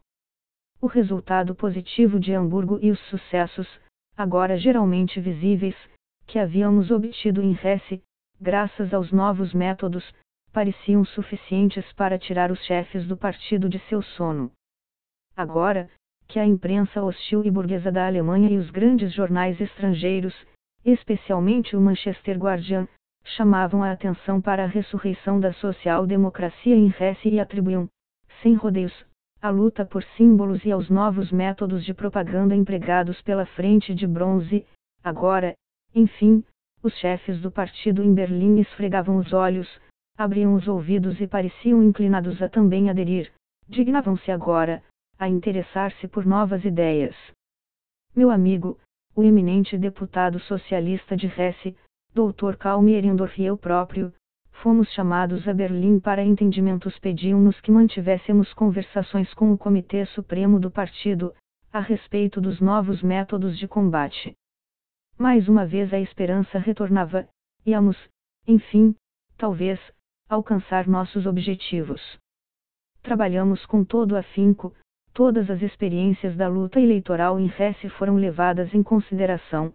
Um plano de organização foi elaborado para a campanha eleitoral do Reichstag, todas as ações, todas as palavras de 698. Ordem e todo o progresso técnico foram examinados a fundo e esclarecidos.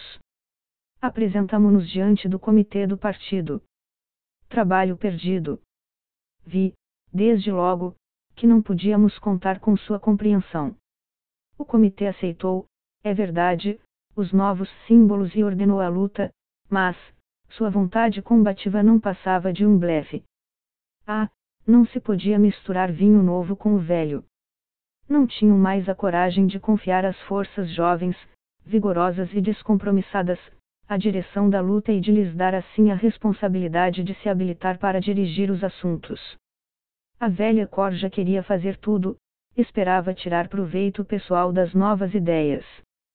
Pela aplicação de métodos cuja eficácia era agora incontestável, desejava restabelecer, nas massas, sua autoridade abalada. Adotou as formas, revestiu-se da roupagem dos novos símbolos, mas, seu espírito permanecia o mesmo, mesquinho, tímido, incapaz de se pôr à altura da situação, das exigências da época e do combate. Não tinha qualquer plano, não compreendia mesmo a necessidade de tê-lo, e, quando se servia dos novos métodos, misturava-os aos velhos processos ineficazes, de maneira a enfraquecer o entusiasmo e a eficiência das forças jovens.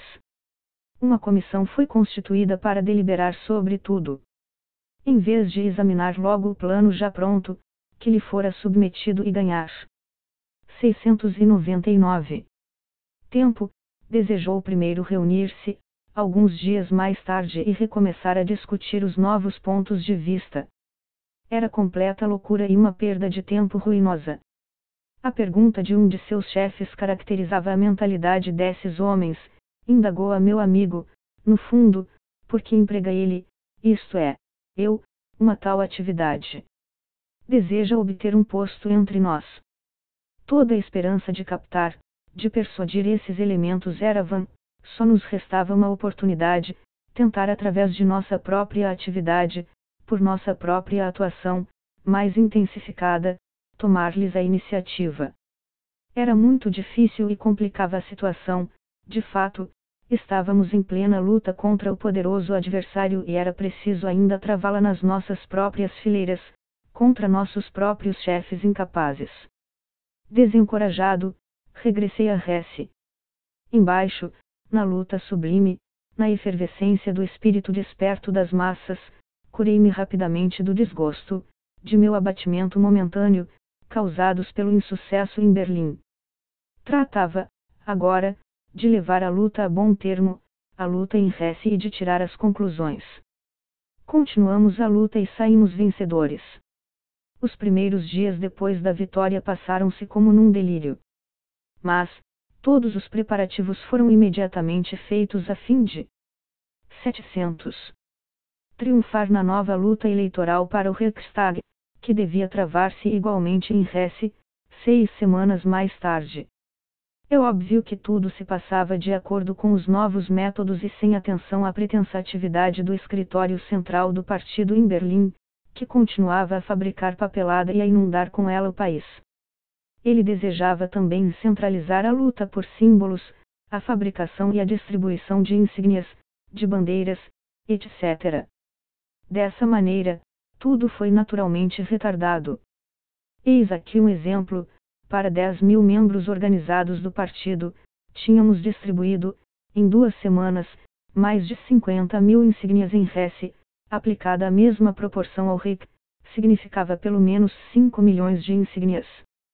Mas, por prudência, o escritório central encomendara apenas cerca de um milhão, deveria ter encomendado em 10 estabelecimentos, mas, para ganhar um vintém em cada insígnia e fazer um bom negócio, a fabricação foi confiada a um só que não pôde naturalmente se desincumbir bem em tão pouco tempo e os pedidos de insígnias das três flechas, que chegavam então de todos os pontos do país, não puderam ser atendidos, de tal modo que alguns distritos foram obrigados a fabricá-las, no último momento. Acontecia o mesmo com as bandeiras, flâmulas e todo o resto. Novamente, Berlim abarrotava todo o país de papel. Muitos milhões de boletins mal feitos e inúteis foram distribuídos, depois das eleições, amontoavam-se. 701. As dezenas de milhares por toda parte, nas secretarias do partido, que se recusavam frequentemente a distribuir esse refúgio, julgando-o sem efeito e mesmo prejudicial. Todos os partidos trabalhavam por meio de cartazes ilustrados, exceto o nosso que se contentava em distribuir os que restavam das eleições prussianas. A única coisa positiva era que os símbolos tinham sido, enfim, oficialmente reconhecidos e empregados na luta e que a Frente de Bronze tomava parte, novamente, nesse combate. Mas, sempre e por toda parte o conflito entre as organizações do partido e as da frente se alastrava. Era evidente que isso precisava acabar. No curso da campanha, falei nas grandes conferências de esclarecimento, organizadas pela Frente de Bronze nas diversas cidades da Alemanha. Devia também falar em Berlim, a organização berlinense tinha preparado tudo, mas a conferência foi interditada pela direção do partido. O comando da Frente de Bronze compreendeu enfim que as coisas não podiam continuar como estavam, era preciso encontrar Nina saída para assumir a liderança efetiva da luta nas mãos. Foi então que amadureceu, entre nós, o plano chamado de agarrar pelo dedo, a direção do partido devia encarregar-nos da organização, em quatro lugares do país, de grandes desfiles modelos semelhantes ao de 702. Darmstadt. Os delegados das circunscrições vizinhas deviam seguir para esses locais, a fim de ver como as passeatas simbólicas eram preparadas. Toda a luta por símbolos estava estreitamente ligada às passeatas. Nós só seguramos, por assim dizer, um único dedo. Por uma atividade intensificada ao máximo, e por meio de uma série de estratagemas, prometemos, a nós mesmos, atrair, em pouco tempo, todo o braço e, depois, todo o corpo, todo o aparelho de propaganda finalmente, de nos apossarmos dele. Estava seguro do sucesso. Depois de uma luta encarniçada, no escritório central do partido, e graças a um estratagema, o chefe da frente de bronze obteve, enfim, que esse assunto passasse para suas mãos. Tínhamos então agarrado o dedo. Tratava-se, agora, de não perder tempo. Logo que possível, todo o REC devia estar informado das diretivas técnicas da luta por símbolo. Eu trabalhava dia e noite, no fim de 48 horas, tinha preparado a brochura de propaganda, intitulada Princípios de Propaganda Moderna, ilustrada com desenhos e fotografias. Quatro dias depois, estava impressa e pronta para distribuição. Mas, a direção do partido tinha percebido o assunto e interditou, de repente, o folheto, cuja elaboração ela própria havia solicitado anteriormente. Recusei então, não vendo qualquer sentido em redigir. 703. Instruções para um plano que fora rejeitado. Ora, a direção do partido decidiu destruir a brochura já feita, impressa e reclamada de toda parte, com o ridículo argumento de que os nazistas poderiam aprender com ela alguma coisa. Não foi senão após longos entendimentos que nossa direção conseguiu retirar o veto e distribuir a brochura. Munidos da autorização para organizar os desfiles modelo, com a firme vontade de nos servir dela no sentido de encaminhar, ao mesmo tempo, toda a luta por símbolos para uma crescente atividade, partimos em campanha. Logo em seguida, tropeçamos em obstáculos tramados pelo partido. Por toda parte, seus escritórios entravavam o trabalho da frente de bronze, não queriam deixar escapar de suas mãos o direito de iniciativa que não exerciam de forma alguma e de que, aliás, não sabiam mesmo como servir-se. Além disso, opuseram-se, de repente, ao emprego dos pequenos cartazes, meio de propaganda notoriamente eficaz e barato, que pode ser reproduzido rapidamente em milhões de exemplares, vimos-nos obrigados, muitas vezes, a mandar imprimi-los no interior, por nossa própria iniciativa e sem o conhecimento do partido, o que era muito difícil, pois, os fundos especiais para esse fim nos faltavam. As dificuldades, os obstáculos e os entraves estavam sempre em nosso encalço. 704. Precisavam ser, assim mesmo, evitados. Dessa vez ainda, as maravilhosas massas operárias alemãs souberam remediar a situação. Graças a seu sadio julgamento, compreenderam um grande número de erros cometidos pelos chefes, num passo marcial, suas colunas desfilavam através das cidades alemãs, fazendo vibrar o ar de brados Freit. Trabalhava-se sem descanso, voava-se de avião de uma cidade a outra, incitava-se a massa.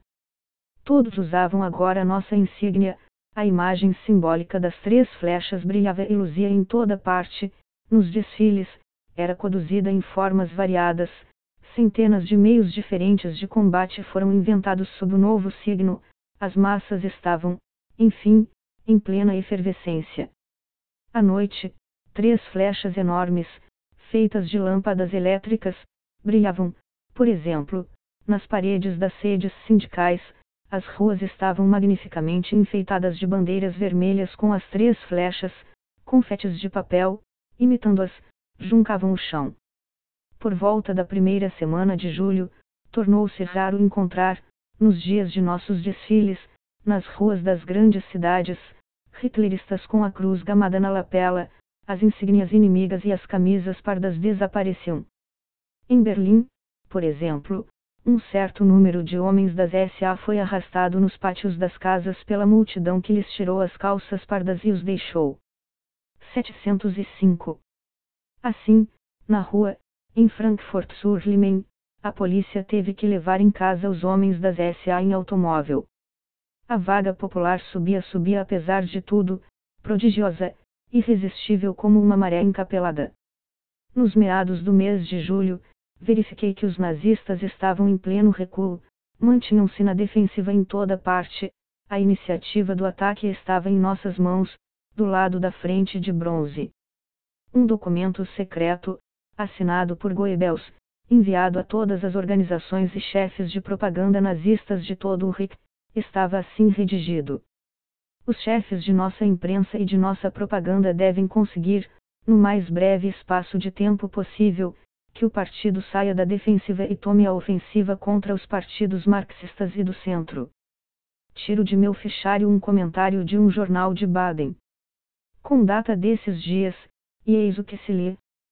Todas essas ações foram executadas com um entusiasmo desconhecido durante muito tempo no seio de nosso partido. Existem camaradas desempregados que, sem um vintém no bolso, fazem a pé viagens de ida e volta em muitas horas, para tomar parte nessas manifestações. Com suas crianças, as mulheres se postam, por todos os lugares, como espectadoras, e aumentam, pelos brados de 706. Freud, o entusiasmo dos desfilantes. Contrariados, os burgueses veem essa agitação, não conseguem compreender como essa reviravolta se produziu. Para eles, a cessação das manifestações hitleristas, impostas pela Frente de Bronze, é um enigma. Eis ainda algumas citações. A impressão geral de que o fascismo domina a vida oficial de Karlsruhe e seus arredores está completamente dissipada, depois da enorme ostentação de força da frente de bronze nessa cidade, a 9 de julho. Sexta-feira, a frente de bronze organizou, em Offenburg, uma manifestação, a que compareceram também os comunistas etc. Provas evidentes de nossa vitória, que, a cada dia, mais se projetava, acumulavam-se em minhas mãos. A 12 de julho, o jornal de Goebbels, Der Griff, trazia na primeira página, em grandes caracteres, enquadrado de vermelho, o seguinte trecho lamuriento: Os assassinos vermelhos querem fazer perecer 20 mil homens nas chamas. Em boa hora. Enfim, os famosos heróis tinham agora outra linguagem, era a sua vez de conduzir a propaganda de intimidação às avessas. Éramos nós agora que atingíamos seus nervos, queixavam-se a população, designando-nos como os mais poderosos. Muito bem. Era um sinal evidente da confusão nascente que eu esperava. Tratava-se então de 707. Avançar, de lutar sem descanso, de não conceder ao inimigo um único segundo de repouso para se refazer. Numa rua de Berlim, um boletim nazista caiu nas minhas mãos. Em cima, figuravam, em grossos traços, as três flechas e a palavra Freiheit. Vejam, vejam, agora estavam mesmo recorrendo a nossas ideias, a nossos símbolos. Todos os seus órgãos, seus jornais e revistas recreativas ilustradas estavam cheias de ataques contra as três flechas, contorciam-se, como vermes, sob o golpe das flechas, tentavam por todos os meios possíveis parar nosso símbolo na sua marcha triunfal. Provas desse gênero se multiplicaram daí em diante, em Mannheim, por exemplo, percebi, a 17 de julho, um grande cartaz nazista, cujo tom era absolutamente defensivo, choramingas, não eram mais os donos absolutos, seguros de sua vitória, agora era a vez de se lamentarem, de pintar o diabo nos muros e suplicar à população que pensasse em tudo o que acarretaria nossa vitória. Eram, agora, inocentes ovelhas e nós os lobos maus. Eles próprios diziam: era perfeito. Era extraordinário. A confiança nas nossas fileiras aumentava incessantemente, todo mundo se rejubilava, falando com ímpeto, com emoção, ouvia-se, a voz do povo vibrando numa tonalidade diferente. Mesmo o Vorvors conduzia, enfim, a 708. Insígnia das três flechas na primeira página e lançava com paixão: ataquemos. É verdade que uma outra comunicação figurava ao lado, em grossos caracteres, proibido manifestar-se com um subtítulo traindo sua verdadeira orientação psicológica, no caminho da razão. A coisa inaudita e inexplicável era que os melhores dirigentes do Partido Social Democrata viviam em um estado de angústia contínuo e singular, numa atmosfera de pânico, decorrente da efervescência popular que se manifestava a cada passo nem sempre compreendiam a importância do que se passava diante dos seus olhos, com efeito, não se achando em contato com as massas, ficavam estupefatos com o fato de a propaganda ociosa e temível dos nazistas, com seus uniformes e manifestações, voltar-se de repente contra eles próprios e que esse fato se revelava subitamente como nosso próprio trunfo. Os nazistas, então, com Hitler à frente, começaram a assediar Hindenburg e Von Papen com telegramas e reivindicações histéricas. Proibi imediatamente e a todo preço as manifestações. Era preciso, custasse o que custasse, deter nosso avanço, que se tornava irresistível. Os heróis pardos perderam subitamente a coragem, enganaram-se nos seus cálculos, pensavam que possuíam um monopólio. Soubemos então de uma notícia estarrecedora, nossos próprios círculos. 709. Dirigentes estavam de acordo com os nazistas, exigiam a mesma coisa. A 18 de julho, o Conselho de Estado prussiano adotou, com os votos do Centro Católico e dos social-democratas, um projeto assim concebido. O Conselho de Estado considera indispensável revigorar, além da restrição decretada sobre liberdade de manifestação, a interdição do uso de uniformes. A 17 de julho, a direção do nosso partido tinha, de fato, num telegrama assinado por Wilsy pedido a Hindenburg que declarasse a proibição das manifestações. Dois dias depois, percebi perfeitamente que a situação evoluía para dois pontos essenciais. Em primeiro lugar, a direção dos nazistas tinha sido efetivamente jogada na defensiva a ofensiva estava, daí por diante, em nossas mãos. Em segundo lugar, os chefes do Partido Social Democrata sofriam de uma psicose de angústia.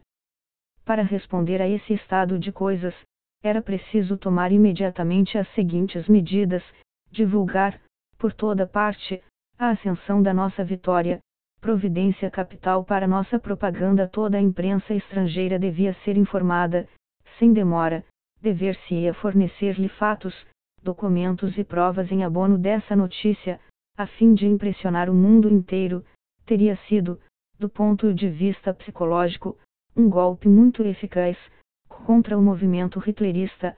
Além disso, nosso 710 ritmo de ataque devia aumentar progressivamente os desfiles, mais intensificados e levantado seu espírito agressivo, aproximávamos-nos, a largos passos, do ponto culminante da campanha. A ideia de que não teríamos talvez mais necessidade de eleições, que a sorte poderia ser decidida antes, impunha-se cada vez mais. Nossa grande recepção à imprensa devia ocorrer a 18 de julho, tudo estava previamente preparado para esse fim, uma exposição ilustrativa de nossas manifestações, toda nossa coleção de símbolos, as formas características de nossa nova propaganda e da de Hitler estavam ordenadas sistematicamente, provas autênticas de que Hitler tinha sido jogado por nós na defensiva, figuravam entre os documentos. A 17, eu devia assistir ao desfile de Magdeburg, segui para lá a fim de organizá-lo, a 18 pela manhã, estava em Mannheim, para preparar a grande marcha dos Archotes. À noite do mesmo dia, devia ser dado, em Berlim, através da imprensa, o golpe decisivo contra Hitler. Tomei o avião para Berlim. Ao descer no campo de Tempelhof, recebi a notícia da interdição das manifestações. Foi um grave revés para nós e Hitler aproveitou-se disso. Não havia tempo a perder, apesar de tudo, a luta na imprensa devia ser conduzida até o fim. Encontrei, no escritório, os nossos homens presos de viva emoção a 711. Direção estava desencorajada e não queria mais prosseguir, a fundo, na ação pela imprensa. Tudo foi em vão, ameaçavam-me, se começasse esta ação sob minha responsabilidade. Verifiquei, finalmente, que, naquela hora, não se poderia permitir que a imprensa olhasse por trás dos nossos bastidores, nessa situação, toda providência era inútil. Trincando os dentes, vi-me obrigado a renunciar à campanha. Não restava mais nenhuma esperança, tudo estava perdido. E, entretanto, não estava tudo perdido, a sorte nos dava ainda um prazo, o instinto prodigioso da classe operária deixava entrever uma saída, havia, assim mesmo, uma possibilidade de agir. A interdição das manifestações públicas foi um terrível golpe para nós, os nazistas recobraram o ânimo, começaram a atacar-nos na sua imprensa com a antiga veemência, podiam realizar suas manifestações nos parques e estádios, permitidos pelo governo, tendo os meios para alugar esses locais custosos, graças a seus financiadores os barões e magnatas da indústria. Só a classe trabalhadora ficava paralisada pelo decreto. Tomei, imediatamente, contramedidas. Devíamos poder contornar a interdição, para fazer valer, nas ruas, nosso espírito combativo, nossos homens receberam, então, ordem para 712. Efetuar, ininterruptamente, manifestações dispersas, chamadas passeios dos símbolos, nas ruas principais, nossos correligionários circulavam, em grande número, em suas bicicletas enfeitadas de flâmulas com as três flechas, nas calçadas, conduzindo insígnias das três flechas, passeavam só ou dois a dois, saudando-se e saudando os ciclistas com o brado de Freire. Os transeuntes podiam, assim, ver que estávamos sempre presentes e que não nos deixávamos intimidar. Apesar de tudo, a efervescência nas nossas fileiras continuava e os espíritos estavam muito agitados. Em Berlim, tinha-se projetado, para 19 de julho, um grande desfile da frente de bronze, partindo de cinco quarteirões para o centro da cidade. Nessa ocasião, Berlim devia perceber, pela primeira vez, a força integral de nossas manifestações. Contava eu com um milhão de espectadores e de participantes. Esse desfile podia, ou melhor, devia ser o prelúdio do grande desfecho. Com a interdição das manifestações, tal plano foi superado. Para contrabalançar o efeito, a frente de bronze convocou o povo para uma gigantesca reunião nas salas e jardins de Azeneide. Já às sete horas, enorme multidão lotava tudo. Os oradores falavam de diferentes tribunas. O ponto culminante foi atingido, quando a camarada inglesa, Ellen Wilkinson, deputada trabalhista, entregou aos berlinenses a 713 bandeira vermelha das três flechas que os trabalhadores ingleses nos tinham enviado, em sinal de solidariedade fraternal. Uma grande agitação reinava entre as 30 mil pessoas que enchiam os jardins. Os brados freit ressoavam, sem cessar, e as canções revolucionárias levavam os espíritos ao ponto de ebulição. Terminada a reunião, as multidões se derramaram nas ruas, gritando Freit, assim como os slogans Hitler Judas e Hitler deve rebentar, que um orador sem escrúpulos, pertencente à direção do partido, lhes tinha lançado no espírito e exortado a que repetissem. A agitação que se apoderou da multidão era tão grande que, se atingisse Berlim inteira, evidentemente todos os espíritos estariam inflamados em alguns dias e a revolução explodiria. Uma ideia me perseguia, sem parar. Von Papen intervirá, Von Papen deve agir com rigor, se não está perdido. Na mesma noite, Hindenburg outorgou plenos poderes a Von Papen para dar seu golpe de Estado na Prússia e liquidar o movimento. Na manhã seguinte, o Rubicon era atravessando. Nosso escritório foi alarmado às nove e meia da manhã, chegou-nos a notícia da prisão do ministro do Interior, Severin e do chefe de polícia Brzezinski. Devia-se esperar, a todo momento, que a ação contra nós e o partido fosse desencadeada. Se as intenções de vão 714 Papin fossem sérias, todos os nossos órgãos centrais seriam ocupados em menos de meia hora e postos fora de ação. A hora da ação revolucionária soara para os dois partidos. A situação equilibrava-se agora, no gume de uma faca. A direção do partido, os chefes dos sindicatos e os dirigentes da Frente de Bronze reunirão-se no escritório da Lindenstrasse 3.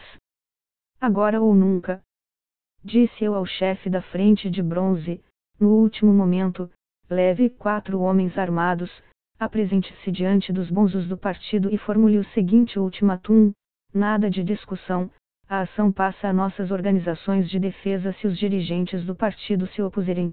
Prenda-os e haja você mesmo rápido para fora de Berlim, decretado o estado de sítio, e de outra cidade ordene a mobilização de toda a nossa rede, lance, ao mesmo tempo, o ultimatum a Von Papen, retirada imediata de seu decreto. Minhas palavras não foram ouvidas. Mas, uma coisa inesperada ocorreu, uma última oportunidade, Von Papen hesitava, Von Papen tinha medo, tinha ameaçado, mas nada fazia deixava passar sete horas inteiras. No fim de meia hora, soube-se que a primeira notícia era falsa, nada tinha acontecido a Severin, nem a Grzizinski, estavam em liberdade e em segurança nos seus escritórios, ninguém nos inquietou mais, o prédio em que os 715 representantes de nossas organizações discutiam a situação não estava cercado pela polícia. Era evidente que Von Papen hesitava, tinha medo, medo de nós, medo do conselho, cuja sede era na Lindenstrasse 3, esperava, para ver o que faria o poderoso Partido dos Trabalhadores. Duvidava, não seria muito perigoso dar o primeiro passo e desencadear a tempestade. Hesitava, nesse caso, esperando sete horas inteiras. Mas, os chefes do poderoso partido parlamentavam e parlamentavam sem fim, raciocinavam interminavelmente e discutiam, por volta de três horas da tarde, chegaram enfim a uma conclusão e a transmitiram ao povo. Calma, disciplina. Não provoquemos, pois, a 30 de julho, nossa resposta será fulminante com a cédula eleitoral. Os dados estavam lançados. Toda Berlim gargalhou, os operários cerravam os punhos, muitos dentre eles tinham lágrimas nos olhos. O medo de Von Papen desapareceu. Ele se decidiu a agir. Um oficial da Rexver e dois soldados apresentaram-se na casa do ministro, chefe de polícia, membro de um poderoso partido operário, que contava com vários milhões de aderentes, que possuía armas para sua defesa a bandeira do Recrespondo, além disso, de uma polícia disciplinada, perfeitamente equipada de metralhadoras, de armas automáticas, de 716 automóveis blindados, etc. Chegaram, ordenaram, fora daqui. E o senhor ministro, membro, etc., etc., declarou num tom dramático. Cedo a violência, é. Entrou em casa. Isso ocorreu a 20 de julho de 1932, às 5 horas da tarde, em Berlim, a hora oficialmente registrada da morte do Partido Social Democrata Alemão, o formidável partido de Bebel, e Liebknecht, a obra genial de Lassalle. Desde então, toda a esperança de escapar ao destino estava morta. A Alemanha não podia mais ser salva, toda possibilidade de luta sem enormes sacrifícios, somente pelo caminho da propaganda, estava definitivamente perdida. O espectro da guerra civil, com todas as suas consequências, levantava-se agora. Seriam os chefes, enfim, capazes de abandonar sua passividade, de se dominar, decidir se iam a dar maior liberdade às novas forças. Chegariam as massas operárias a forçá-los a isso. A organização permanecia intacta, tudo podia ser salvo, se bem que fosse evidente que somente a força bruta poderia vencer o inimigo. Era grande questão para o movimento operário alemão, inclusive os sindicatos. Depois de tudo o que se tinha desenrolado sob meus olhos, duvidava eu dessas possibilidades, a meu ver, os chefes não seriam jamais capazes de ser chefes, de agir, de dirigir, agora, pensei, eles vão realmente perder a coragem e a cabeça. 717. Toda a esperança se prendia então aos elementos imponderáveis, ao espírito que guia cada movimento revolucionário, talvez a energia, sistematizada e acumulada durante dezenas de anos, nas organizações operárias, explode-se com uma força elementar. Quem sabe se possivelmente as energias liberadas não abririam como ocorreu muitas vezes na história, o bom caminho, mesmo se isso exigisse sacrifícios. O que se via, agora, por toda parte, depois do 20 de julho, era, embora compreensível, muito lamentável, a depressão castigava as organizações obreiras, todos pareciam imobilizados, essa paralisia, que tinha invadido sobretudo os meios dirigentes, era nefasta a agitação das massas trabalhadoras de todo o país, agitação que continuava ainda a se desdobrar em lugar de excitar energicamente o ardor combativo das massas, em lugar de organizar imediatamente a luta extraparlamentar e iniciar o povo na compreensão da revolução inevitável, a revolução que exige sacrifícios, mas, que está também segura da vitória, os chefes e sua imprensa gesticulavam, ridiculamente, lançando, sem cessar, velhas frases triviais que ninguém podia levar a sério, como, por exemplo, e agora, com mais forte razão, iremos. Avante! Atravessemos as fileiras inimigas. Ao assalto, etc. A depressão manifestava-se de maneira 718 tão intensa que se observavam os efeitos psicofisiológicos imediatos. Assim é que o número dos que se saudavam Freit tinha diminuído, sensivelmente, a saudação não era mais, frequentemente, executada com energia, mas, de uma maneira frouxa. O número das insígnias das três flechas, conduzidas na lapela, também se reduzia. Só podendo ser realizadas em recintos fechados, as manifestações eram apenas uma tênue sombra da força que, ainda recentemente, triunfava em toda parte, Além disso, tinham perdido todo sentido, uma vez que, não podendo mais ser contempladas nas ruas pelas multidões, ficavam sem receber sua influência.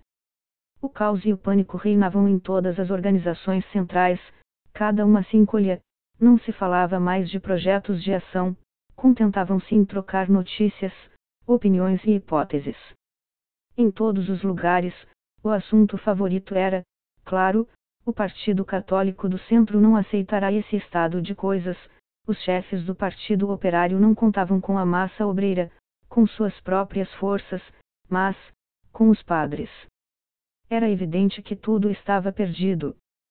E, entretanto, as vagas da grande agitação popular de julho, as consequências da efervescência que a luta por símbolos causara, não tinham ainda sido amortecidas. Elas, 719, rebentavam e rugiam. Apesar de todas as esperanças de Hitler e de von Papen, o 31 de julho não lhes trouxe a vitória sonhada. Eu tinha em mãos números e esclarecimentos interessantes sobre a luta de junho e julho, informações que me forneciam nossos agentes e que provinham dos círculos dirigentes de nossos adversários. Em meados de junho, Hitler contava obter 54% da totalidade dos votos. Depois, esses números esperados pelos próprios adversários, vinham, durante a campanha, decrescendo rapidamente, a princípio, 51%, depois 47%, depois 44%, e, no mês de julho, estavam já reduzidos a 37%. Era uma prova clara da depressão causada pelos bons resultados de nossos novos métodos de combate. Depois de 20 de julho, eu sabia que a proporção aumentaria rapidamente e foi o que se passou. Obtiveram, com seus aliados, os nacionais alemães, 44%, mas, a despeito de tudo, somente 44%. Ainda uma vez Hitler tinha sido derrotado e a realização do seu sonho escapava. E isso não obstante ter conseguido que, no último momento, Von Papen desferisse o golpe decisivo contra nós. Era, entretanto, muito tarde a efervescência, que criáramos, tinha penetrado muito profundamente no povo, a agitação dos espíritos era tão grande que não podia domá-la em dez dias. Ora, Hitler não era o único vencido. 720. Nossos chefes partilhavam também a derrota, uma vez que nosso objetivo o aniquilamento total de Hitler, tornado possível pelo emprego de novos métodos de combate não tinha sido atingido. A reviravolta psicológica, ocorrida em 20 de julho, tornou-se novamente favorável a Hitler. Como era de esperar, nossa derrota exerceu uma influência moral particularmente sensível em Berlim, teatro dos últimos acontecimentos.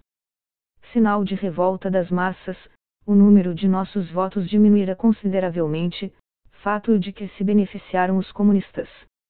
No interior, a onda negativa não tivera ainda tempo de se propagar, razão porque nossas perdas ali não eram tão grandes quanto na capital. Como os resultados imediatos das eleições de 30 de julho eram uma meia vitória para nós, Hitler fora detido, ainda uma vez. No caminho do poder. Mas, na realidade, essa falta de clareza na política continha os maiores perigos para nós e todos os que conheciam as causas e viam clara a situação, criada após o 20 de julho, sabiam muito bem que as consequências não tardariam a se fazer sentir. Agora, devia-se esperar um retrocesso evidente de nossas possibilidades, nossas massas deviam desencorajar-se, os elementos mais arrebatados passariam, em número sempre crescente, para os comunistas. Aos olhos da classe trabalhadora, a autoridade. 721. De nossos chefes fora consideravelmente enfraquecida pela derrota de 20 de julho, a juventude zombava abertamente deles, os velhos encaravam, com cuidado, o futuro. Todos gostavam de acreditar, todavia, que o milagre se produziria, que a grande batalha, a última ratio da classe operária, se aproximava. Compreendeu-se, enfim, que a luta não podia mais ser conduzida sem sacrifícios, uma corrida para nossas organizações de defesa armadas se verificava, os homens procuravam armas, esperava-se tudo e estava-se pronto. No lado de Hitler, alguma coisa também se passava, a demora interminável da solução desmoralizava suas fileiras, o golpe que Hindenburg assentou no seu movimento, a 13 de agosto, abalará igualmente. Von Papen separou-se dele os dirigentes nazistas explodiam agora contra Von Papen, os dois irmãos de armas pareciam lutar entre si. Por sua vez, Von Papen tentava golpear Hitler acreditava, enfim, ter encontrado a chave do sucesso de Hitler proclamou, aos quatro ventos, o início imediato da propaganda oficial do governo que ele também desejava, agora, conduzir numa grande escala, esperava obter, com a ajuda do Partido Nacional Alemão e dos capacetes de aço, resultados semelhantes aos de Hitler. Um congresso dos capacetes de aço com paradas, bandeiras e outros artifícios de propaganda, foi organizado com grande estrépito.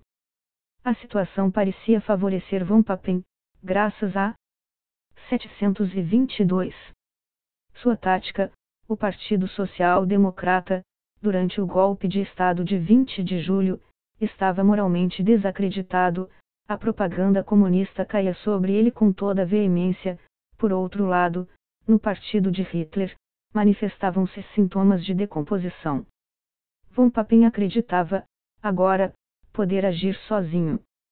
Tendo, no espírito, a ideia fixa da importância decisiva da propaganda, copiava Hitler em tudo monopolizou o rádio para seus discursos, o que lhe dava um trunfo sobre Hitler, acreditou também fazer agir a alavanca que Hitler tinha sempre desejado, até aquele momento, como um meio decisivo, a convocação do povo para novas eleições, em cuja realização empregaria, ao máximo, sua própria propaganda. Tratava-se de obter uma maioria pessoal a que esperava juntar o centro católico. Então ele, Von Papen e não Hitler, criando uma base parlamentar, poderia investir-se de plenos poderes, modificar a Constituição, falava nisso sem cessar, dissolver o parlamento e estabelecer sua própria ditadura.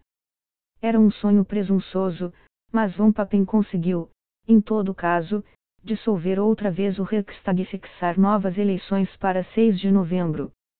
Ora, a propaganda de Von Papen não teve qualquer efeito nem o fato de dispor dos meios do Estado, nem as grandes somas investidas em sua propaganda serviram para coisa alguma. 723. Uma vez mais, estava demonstrado que a propaganda isolada, sem qualquer base política, não é suficiente, a propaganda política e a publicidade comercial não são, apesar de tudo, a mesma coisa. Von Papen ganhara votos às expensas dos hitleristas, mas, numa proporção muito pequena, em compensação, Hitler foi, desta vez, incontestavelmente derrotado perdeu mais de 2 milhões de votos e 34 cadeiras no Reichstag. Não era, todavia, uma vitória de Von Papen, mas, simplesmente o resultado das tendências de dissolução que se manifestavam nas fileiras hitleristas e que eram provocadas, por sua vez, pela derrota de 31 de julho e por seu erro político de 13 de agosto, quando Hindenburg tentou conquistá-lo para sua causa e quando ele deixou escapar essa ocasião de agarrar um dedo. O grande vencedor de 6 de novembro era o Partido Comunista que tomara votos dos social-democratas e dos nazistas. Era um sintoma claro, se bem que sem a menor importância prática, os verdadeiros vencidos eram novamente nossos chefes. Pela primeira vez perdemos quase um milhão de votos. É então que a desmoralização nascida do 20 de julho ganhou as massas. Um grande número de nossos partidários passou para os adversários e outros se desinteressaram. Ainda desta vez a 724. Propaganda do partido não tinha progredido. Na luta política, usavam-se símbolos, é verdade, que desde então, eram oficiais, mas, não havia qualquer entusiasmo, nenhum elan, não se acreditava mais nas palavras de ordem do partido, nem que ele fosse capaz de lutar.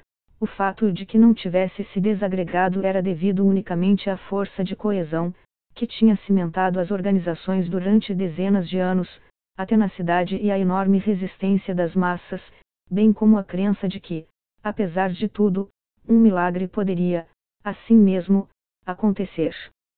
Via-se chegar, inexoravelmente, a última luta sem limite, nem trégua, e cada um se preparava para cumprir seu dever, era preciso então unificar forças.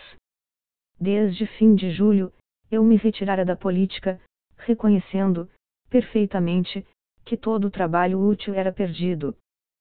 Só havia uma coisa a fazer: procurar salvar o movimento operário, antes de tudo. Os antigos chefes faliram, era preciso afastá-los. Enquanto estivessem à frente do movimento, tudo seria inútil.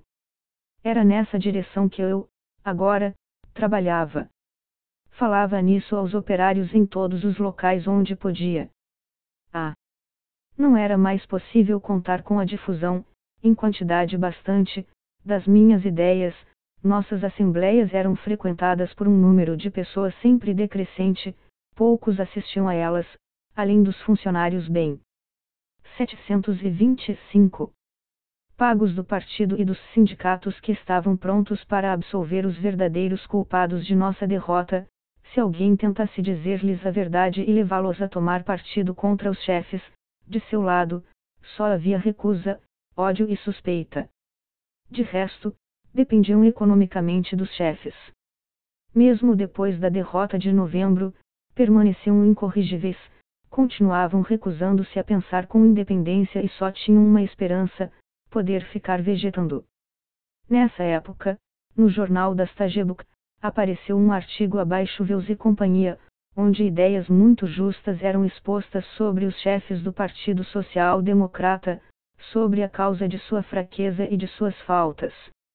O clã que gravitava em torno dos dirigentes do partido logo suspeitou que fosse eu o autor desse artigo, o que não era verdade, se bem que aprovasse inteiramente essas ideias seguiram-se ataques contra mim.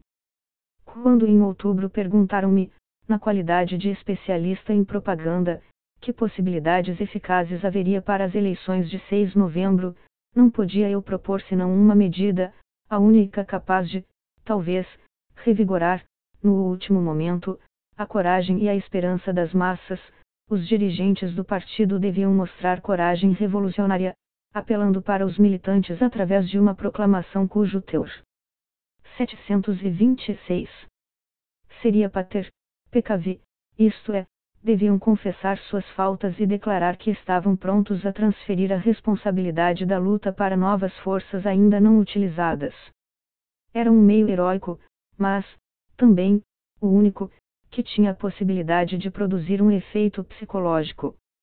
Essa maneira de agir, empregada como meio de propaganda, chama-se catártica, resgatadora, purificadora. Lenin aplicava esse método repetidamente, quando confessava publicamente as faltas cometidas, dizendo: comete erros, sou culpado, confesso minha falta, não os cometerei mais. Do ponto de vista da propaganda, isso produzia um efeito comovedor, a depressão mudava então quase sempre em emoção e num estado de alma de onde podiam jorrar uma nova coragem e novas forças. Mas, não havia Lenin entre os chefes social-democratas, minha proposta não podia ser levada a sério. Daí em diante, os acontecimentos se precipitaram, era derrocada. A princípio, veio a queda de Von Papen todos os seus projetos a nada conduziram, a situação permaneceu indecisa, nos meios que cercavam Hindenburg pensava-se que, de uma parte, era preciso fazer certas concessões à opinião pública, mas, de outra, também procurar o apoio dos militares não se podia jamais saber como iriam terminar as coisas. Na pessoa do general von Eleicher tinha-se um homem que parecia reunir as duas. 727 Características tanto mais que o hábito de destruir seus antigos companheiros e chefes Hermann Uller, Brunner, Bruning era-lhe, por assim dizer, familiar.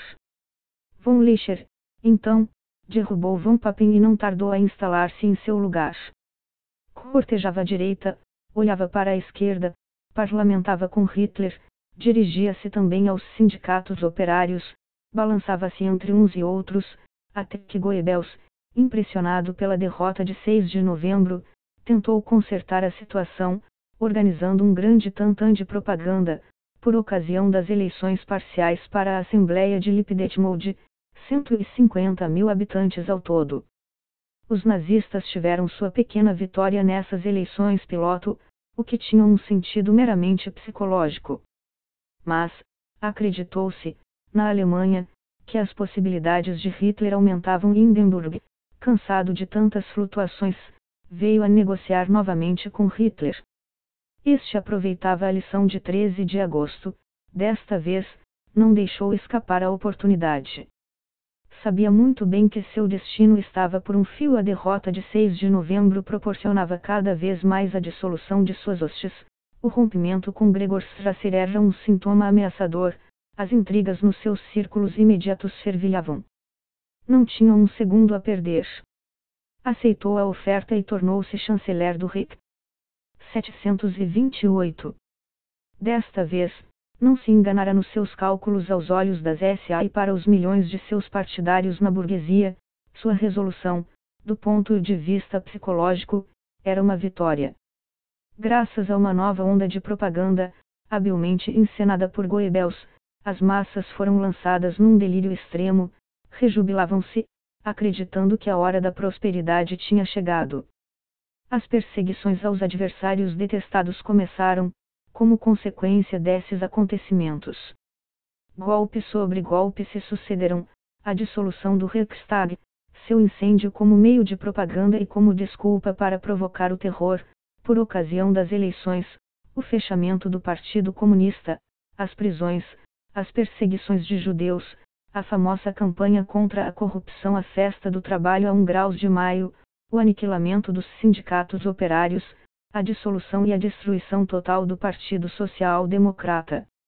E, finalmente, os assaltos contra os próprios aliados, os capacetes de aço e o Partido Nacional Alemão, a queda de Eugenberg, por fim, a do Partido Católico do Centro, do Partido Populista Bávaro e do Partido Democrata.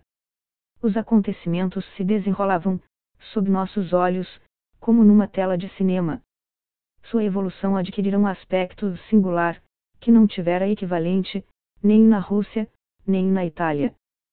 729. Era uma galopada louca em que a burguesia alemã perdia completamente o rumo.